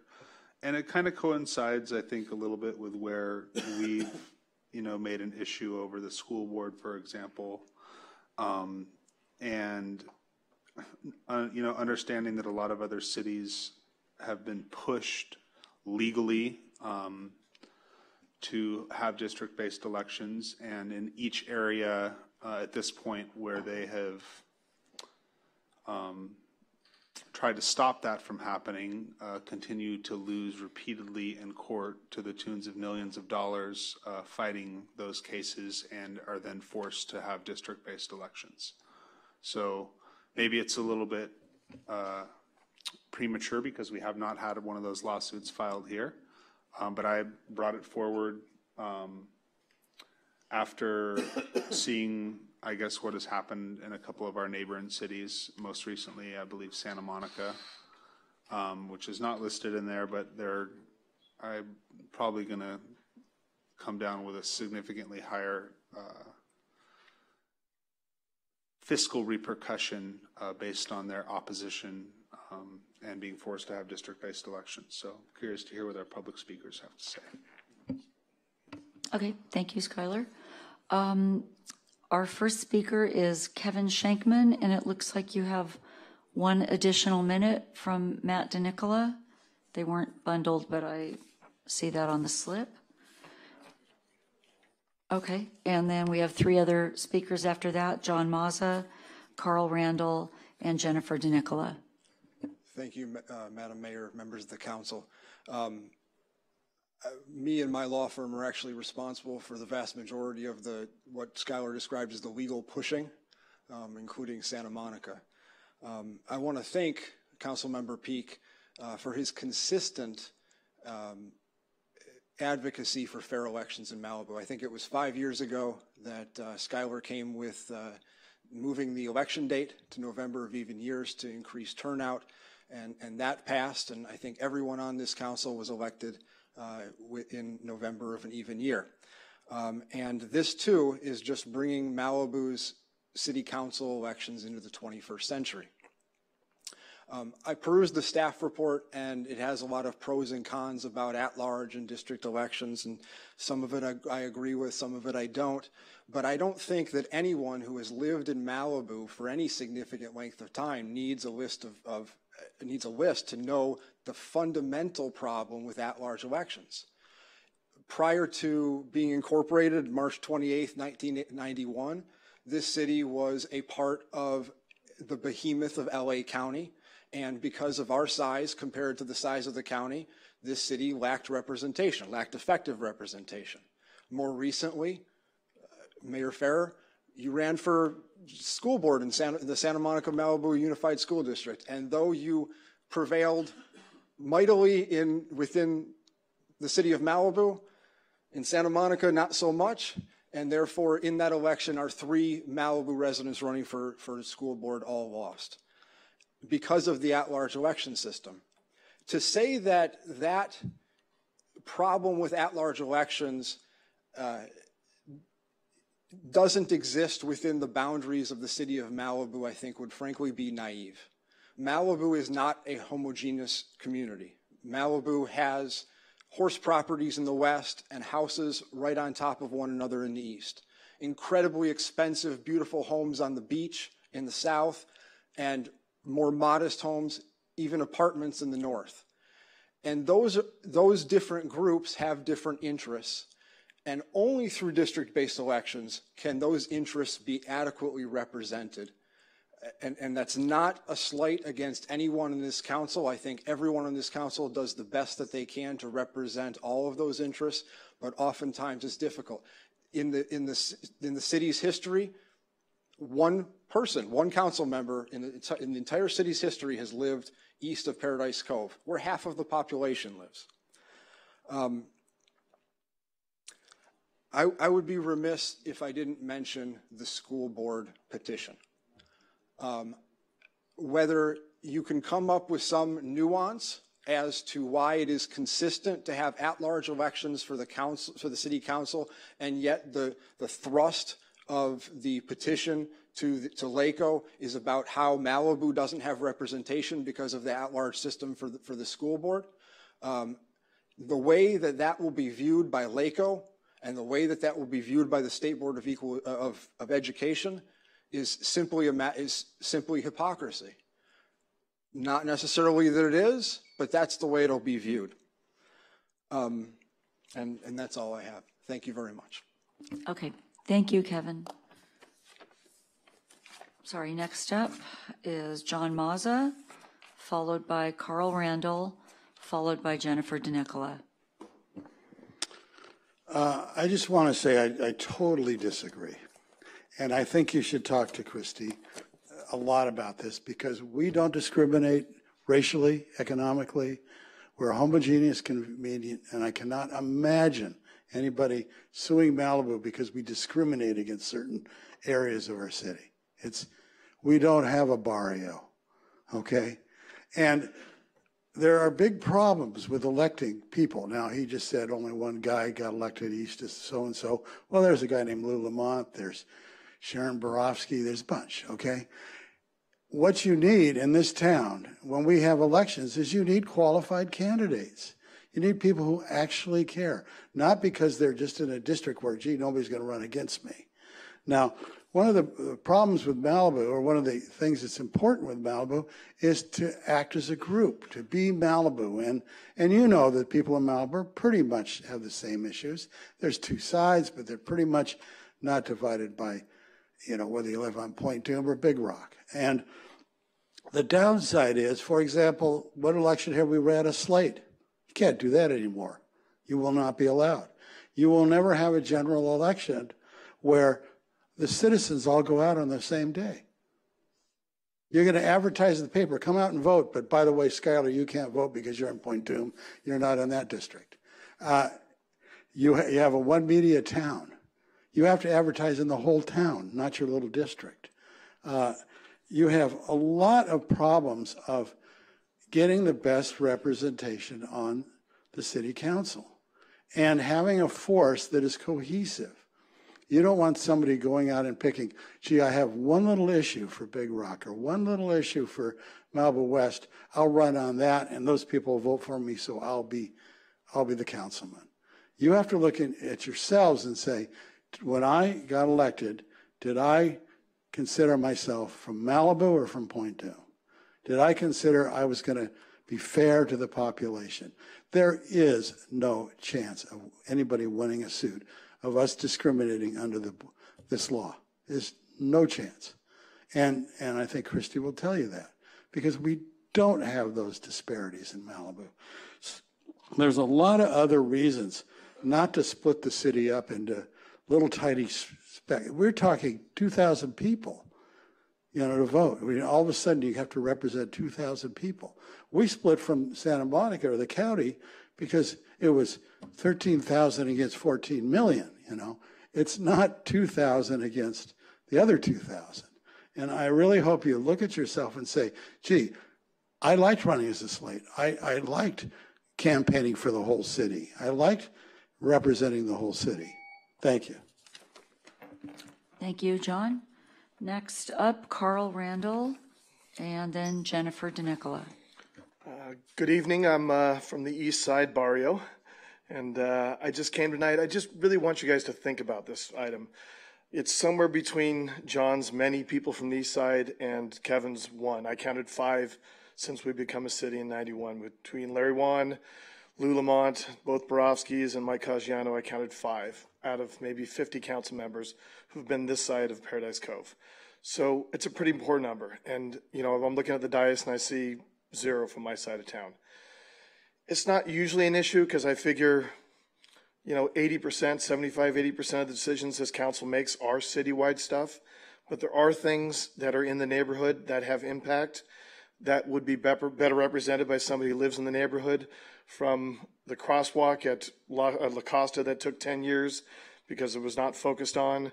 Whereas there's a right turn lane at Trancas that I don't really care about because it's 15 miles from me. So, but it's for you and for the people in that neighborhood, it's the end all be all. So I get it in those portions. There are things citywide need to be done. Um, do remember, before we became a city, this is how the Malibu Township Council went about their business. They did it by district. Do recognize, as Kevin said, that our petition to LAFCO is by district. I think there's some serious pros and cons on this one. I just want you guys to really weigh in and really think about it. Thank you very much. Thank you, Carl. The last speaker is Jennifer DeNicola.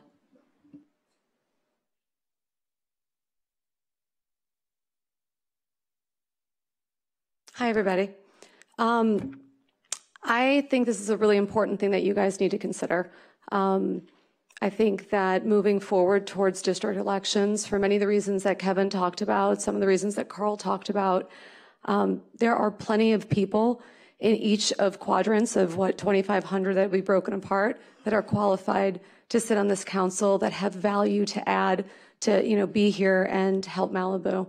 I think it's a lot easier to um, have a closer relationship with 2,500 people than it is to have a relationship with, you know, about 13,000.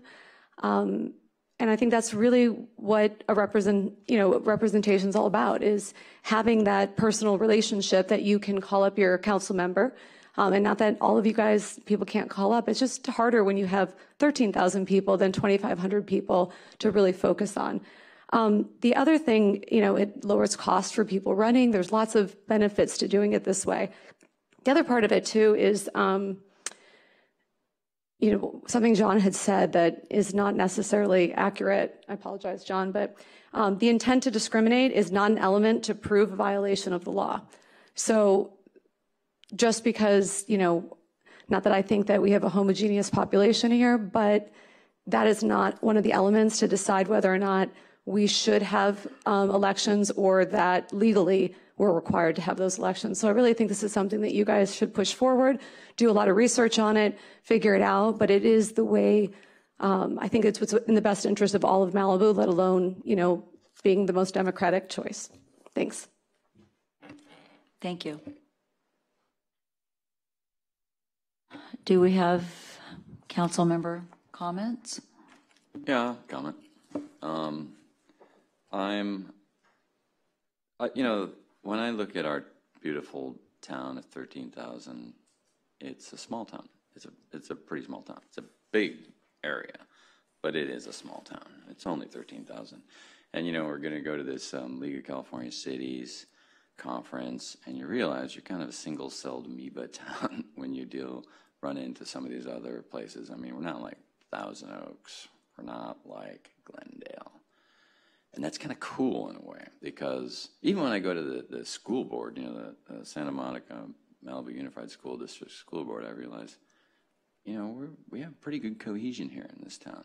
And I think that's, that's important. When I look at our community, I think we should be doing things that enhance our cohesion and not divide us, whether it be by voting districts or anything else. And I, I that strikes me as a bit of balkanization. I heard Kevin's comments about, hey, you know, you really have to, you know, how can the people from one area really, I mean, I'm not paraphrasing what you said, but if, you know, if I'm I'm, if my, let's say I live in Ramirez Canyon and, and I'm in a voting area that includes Point Dume and now I'm a little peewee guy compared to Point Dume, you know, so I'm, you could say that even in my little voting district, maybe I'm, I'm uh, a little subset. And you can make that argument throughout our whole town. Our whole town is 21 miles long with a bunch of little uh, unique and different neighborhoods. And I think that's kind of cool.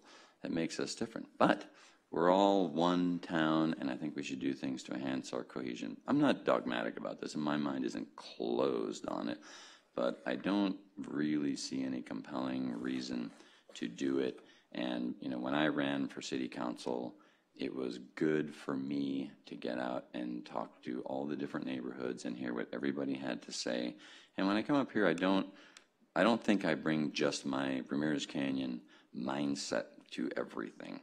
I uh, am here to support the mission statement, which I think applies to everyone in Malibu. Unfortunately, we are kind of one little single cell to me, but we don't have like the industrial area and the business area and the sports arena area. We're mostly a residential town with a modest amount of commercial activity. We do have some unique characteristics in that we have zillions of visitors who like to come here, and that does make things different.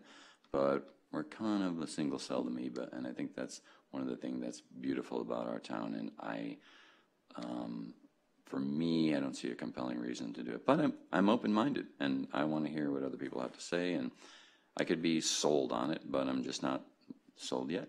So that's my comments. Thank you, Rick. Anyone else?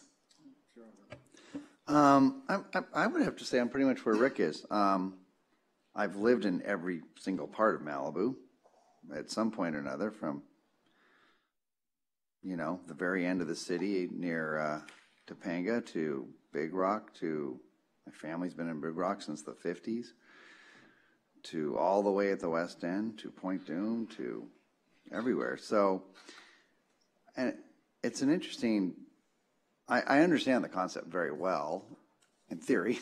I didn't practice. And, and something Rick said was, was right. I mean, during campaigning was very interesting. Um, and since then too, I'm I'm at meetings everywhere. At Tuesday night is uh, Big Rocks having their meeting. Um, Terry there, and I don't know. I, I like one thing that was great about running for city council is being connected to the entire city. I really love that. I love, and I've never ever thought of my neighborhood as what's important or key. But with that said, I know there's more to this than I have learned about, and I'm open minded too. Um, I don't know. I worry. I guess my worry would be, and I don't know if it's right or not, that people would get elected that do only care about theory, and that would be tragic. I mean, it's really great to have people that do care about all of Malibu, and maybe that doesn't change. And and this is a very new idea to me, and I've read every bit of this. So um, at this point, I'm I'm kind of right where Rick is. Um, I do look forward to learning more at some point, and I know it looks like this would be a lot of work, and so if we want to do it, I wouldn't even know how to get it on our work plan right now, because that's totally full, as we're constantly reminded, because it's true. So, but at the same time, there you go, what Rick said. Thank you, Mikke. Jefferson? Thank you, Karen. Um, so Skylar and I have had the honor of serving the community uh, for two terms. So we're, we're the uh, senior members here. And curiously, when I was on council the first term, 2008 to 2012, I spent most of my time with the East End, researching the issues and the problems that were East End. I spent a lot of time getting the road opened, $3 million road. I was involved in that from day one. Scott Dietrich was one that was pushing it. We were the ones in, on my council that got the left turn lane at Big Rock with a signal. Uh, I know that crosswalk's been a tough one, but we're there uh, and we're moving forward with it. But Mikke and I went about a year ago and had a discussion with some of the people on the de- on the dewatering. And I know Mikke's new. I had already had some expressions and some education on it. And we informed that community at the East End so well that they finally activated and started questioning some of the authorities of the research that was being handed to them that they're paying for. And that worked out very well. And we didn't think of it as East End or Mid City or West End. We thought about it as our community. And I look at my community in my second term. And whenever I was mayor running the show, I started it out with from Topanga past Trancas, from ridgeline to coastline. That's the area I serve. Breaking up the areas, to me, may be an advantage at some points because I read the pros and the cons. And I like these kinds of discussions because nobody's going to be offended. We're trying to do a better management of the city. For me, if you don't get out and know that the right turn lane at Trancas, is never going to happen, and I started on that when I was at my last term, and we still don't have a crosswalk at La Costa. These are the issues that we deal with, but we know all the issues. Right now, the issue for me is mid Malibu trying to get a crosswalk underneath PCH at the restaurant. We need a whole community from both ends to make that happen. We need 13,000 people that think alike to make sure that crosswalk goes underneath PCH and not in, on top of the highway. So I appreciate this, the effort, and Skylar, I appreciate your exploring it. And you have come up with some terrific things in the past, and I've always supported them on that. But on this one, I, am kind of a neutral kind of feel on it. It's like, kind of like, gosh, I thought we were all one community. I, I'm going to continue to feel it's one community for my last year in office. And hopefully, we serve you the way we're supposed to as a community. And thank you. Thank you, Jefferson.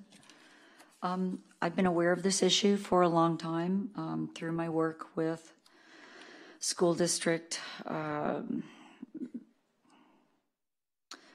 a lot of things uh, that the school district has considered, uh, and now being on this end, and having worked on separation for 10 years. Um, I'll say this for my personal history. I started out on Rambla Pacifico, two miles up um, from 1978 to 87. It was nine and a half years, and that's in the county. Uh, we obviously weren't incorporated as a city yet.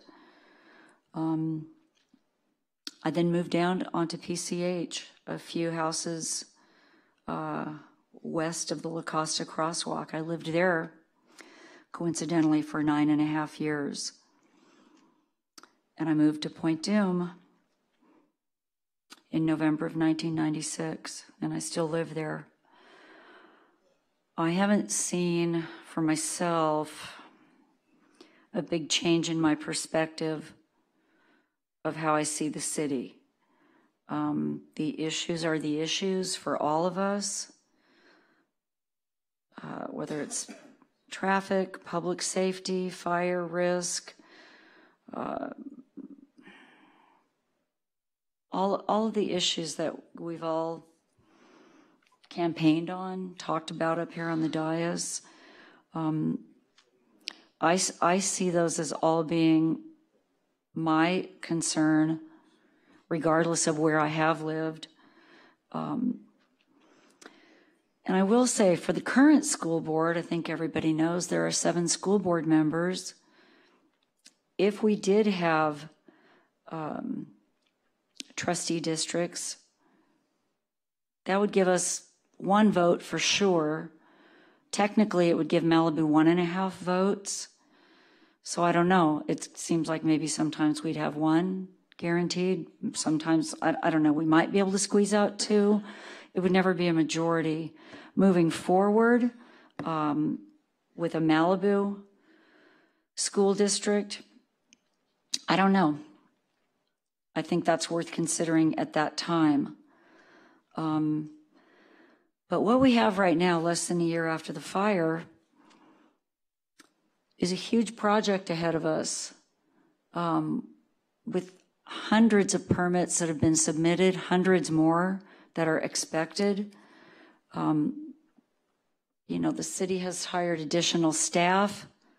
Uh, we've we've brought in people to help with information, with getting those permits issued, with all the planning issues that go along with that.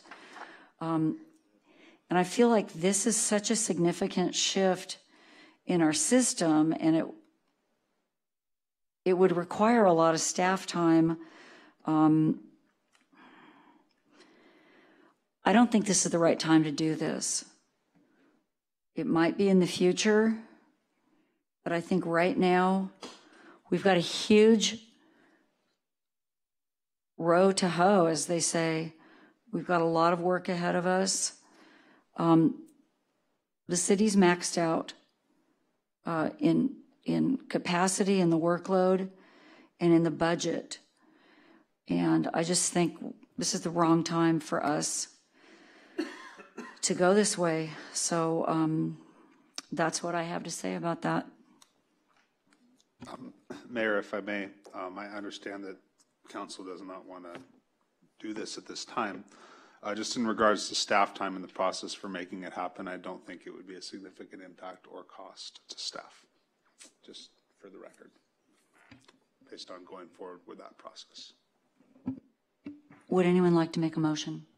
I'd like to add one comment to some of the uh, people uh, east of Civic Center. You do have a representative here, right? I'm less than a half mile from here, so I'm your East Ender. Come talk to me.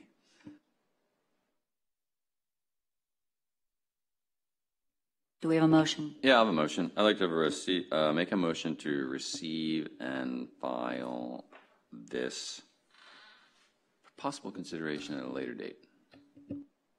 I'll second that. Okay, can we do a roll call vote? Councilmember Mullen? Yes. Councilmember Wagner? Yes. Councilmember Peak? Negative.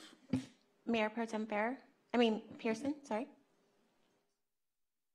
Uh, yeah, yes. Mayor Farrer? Yes. Motion carries.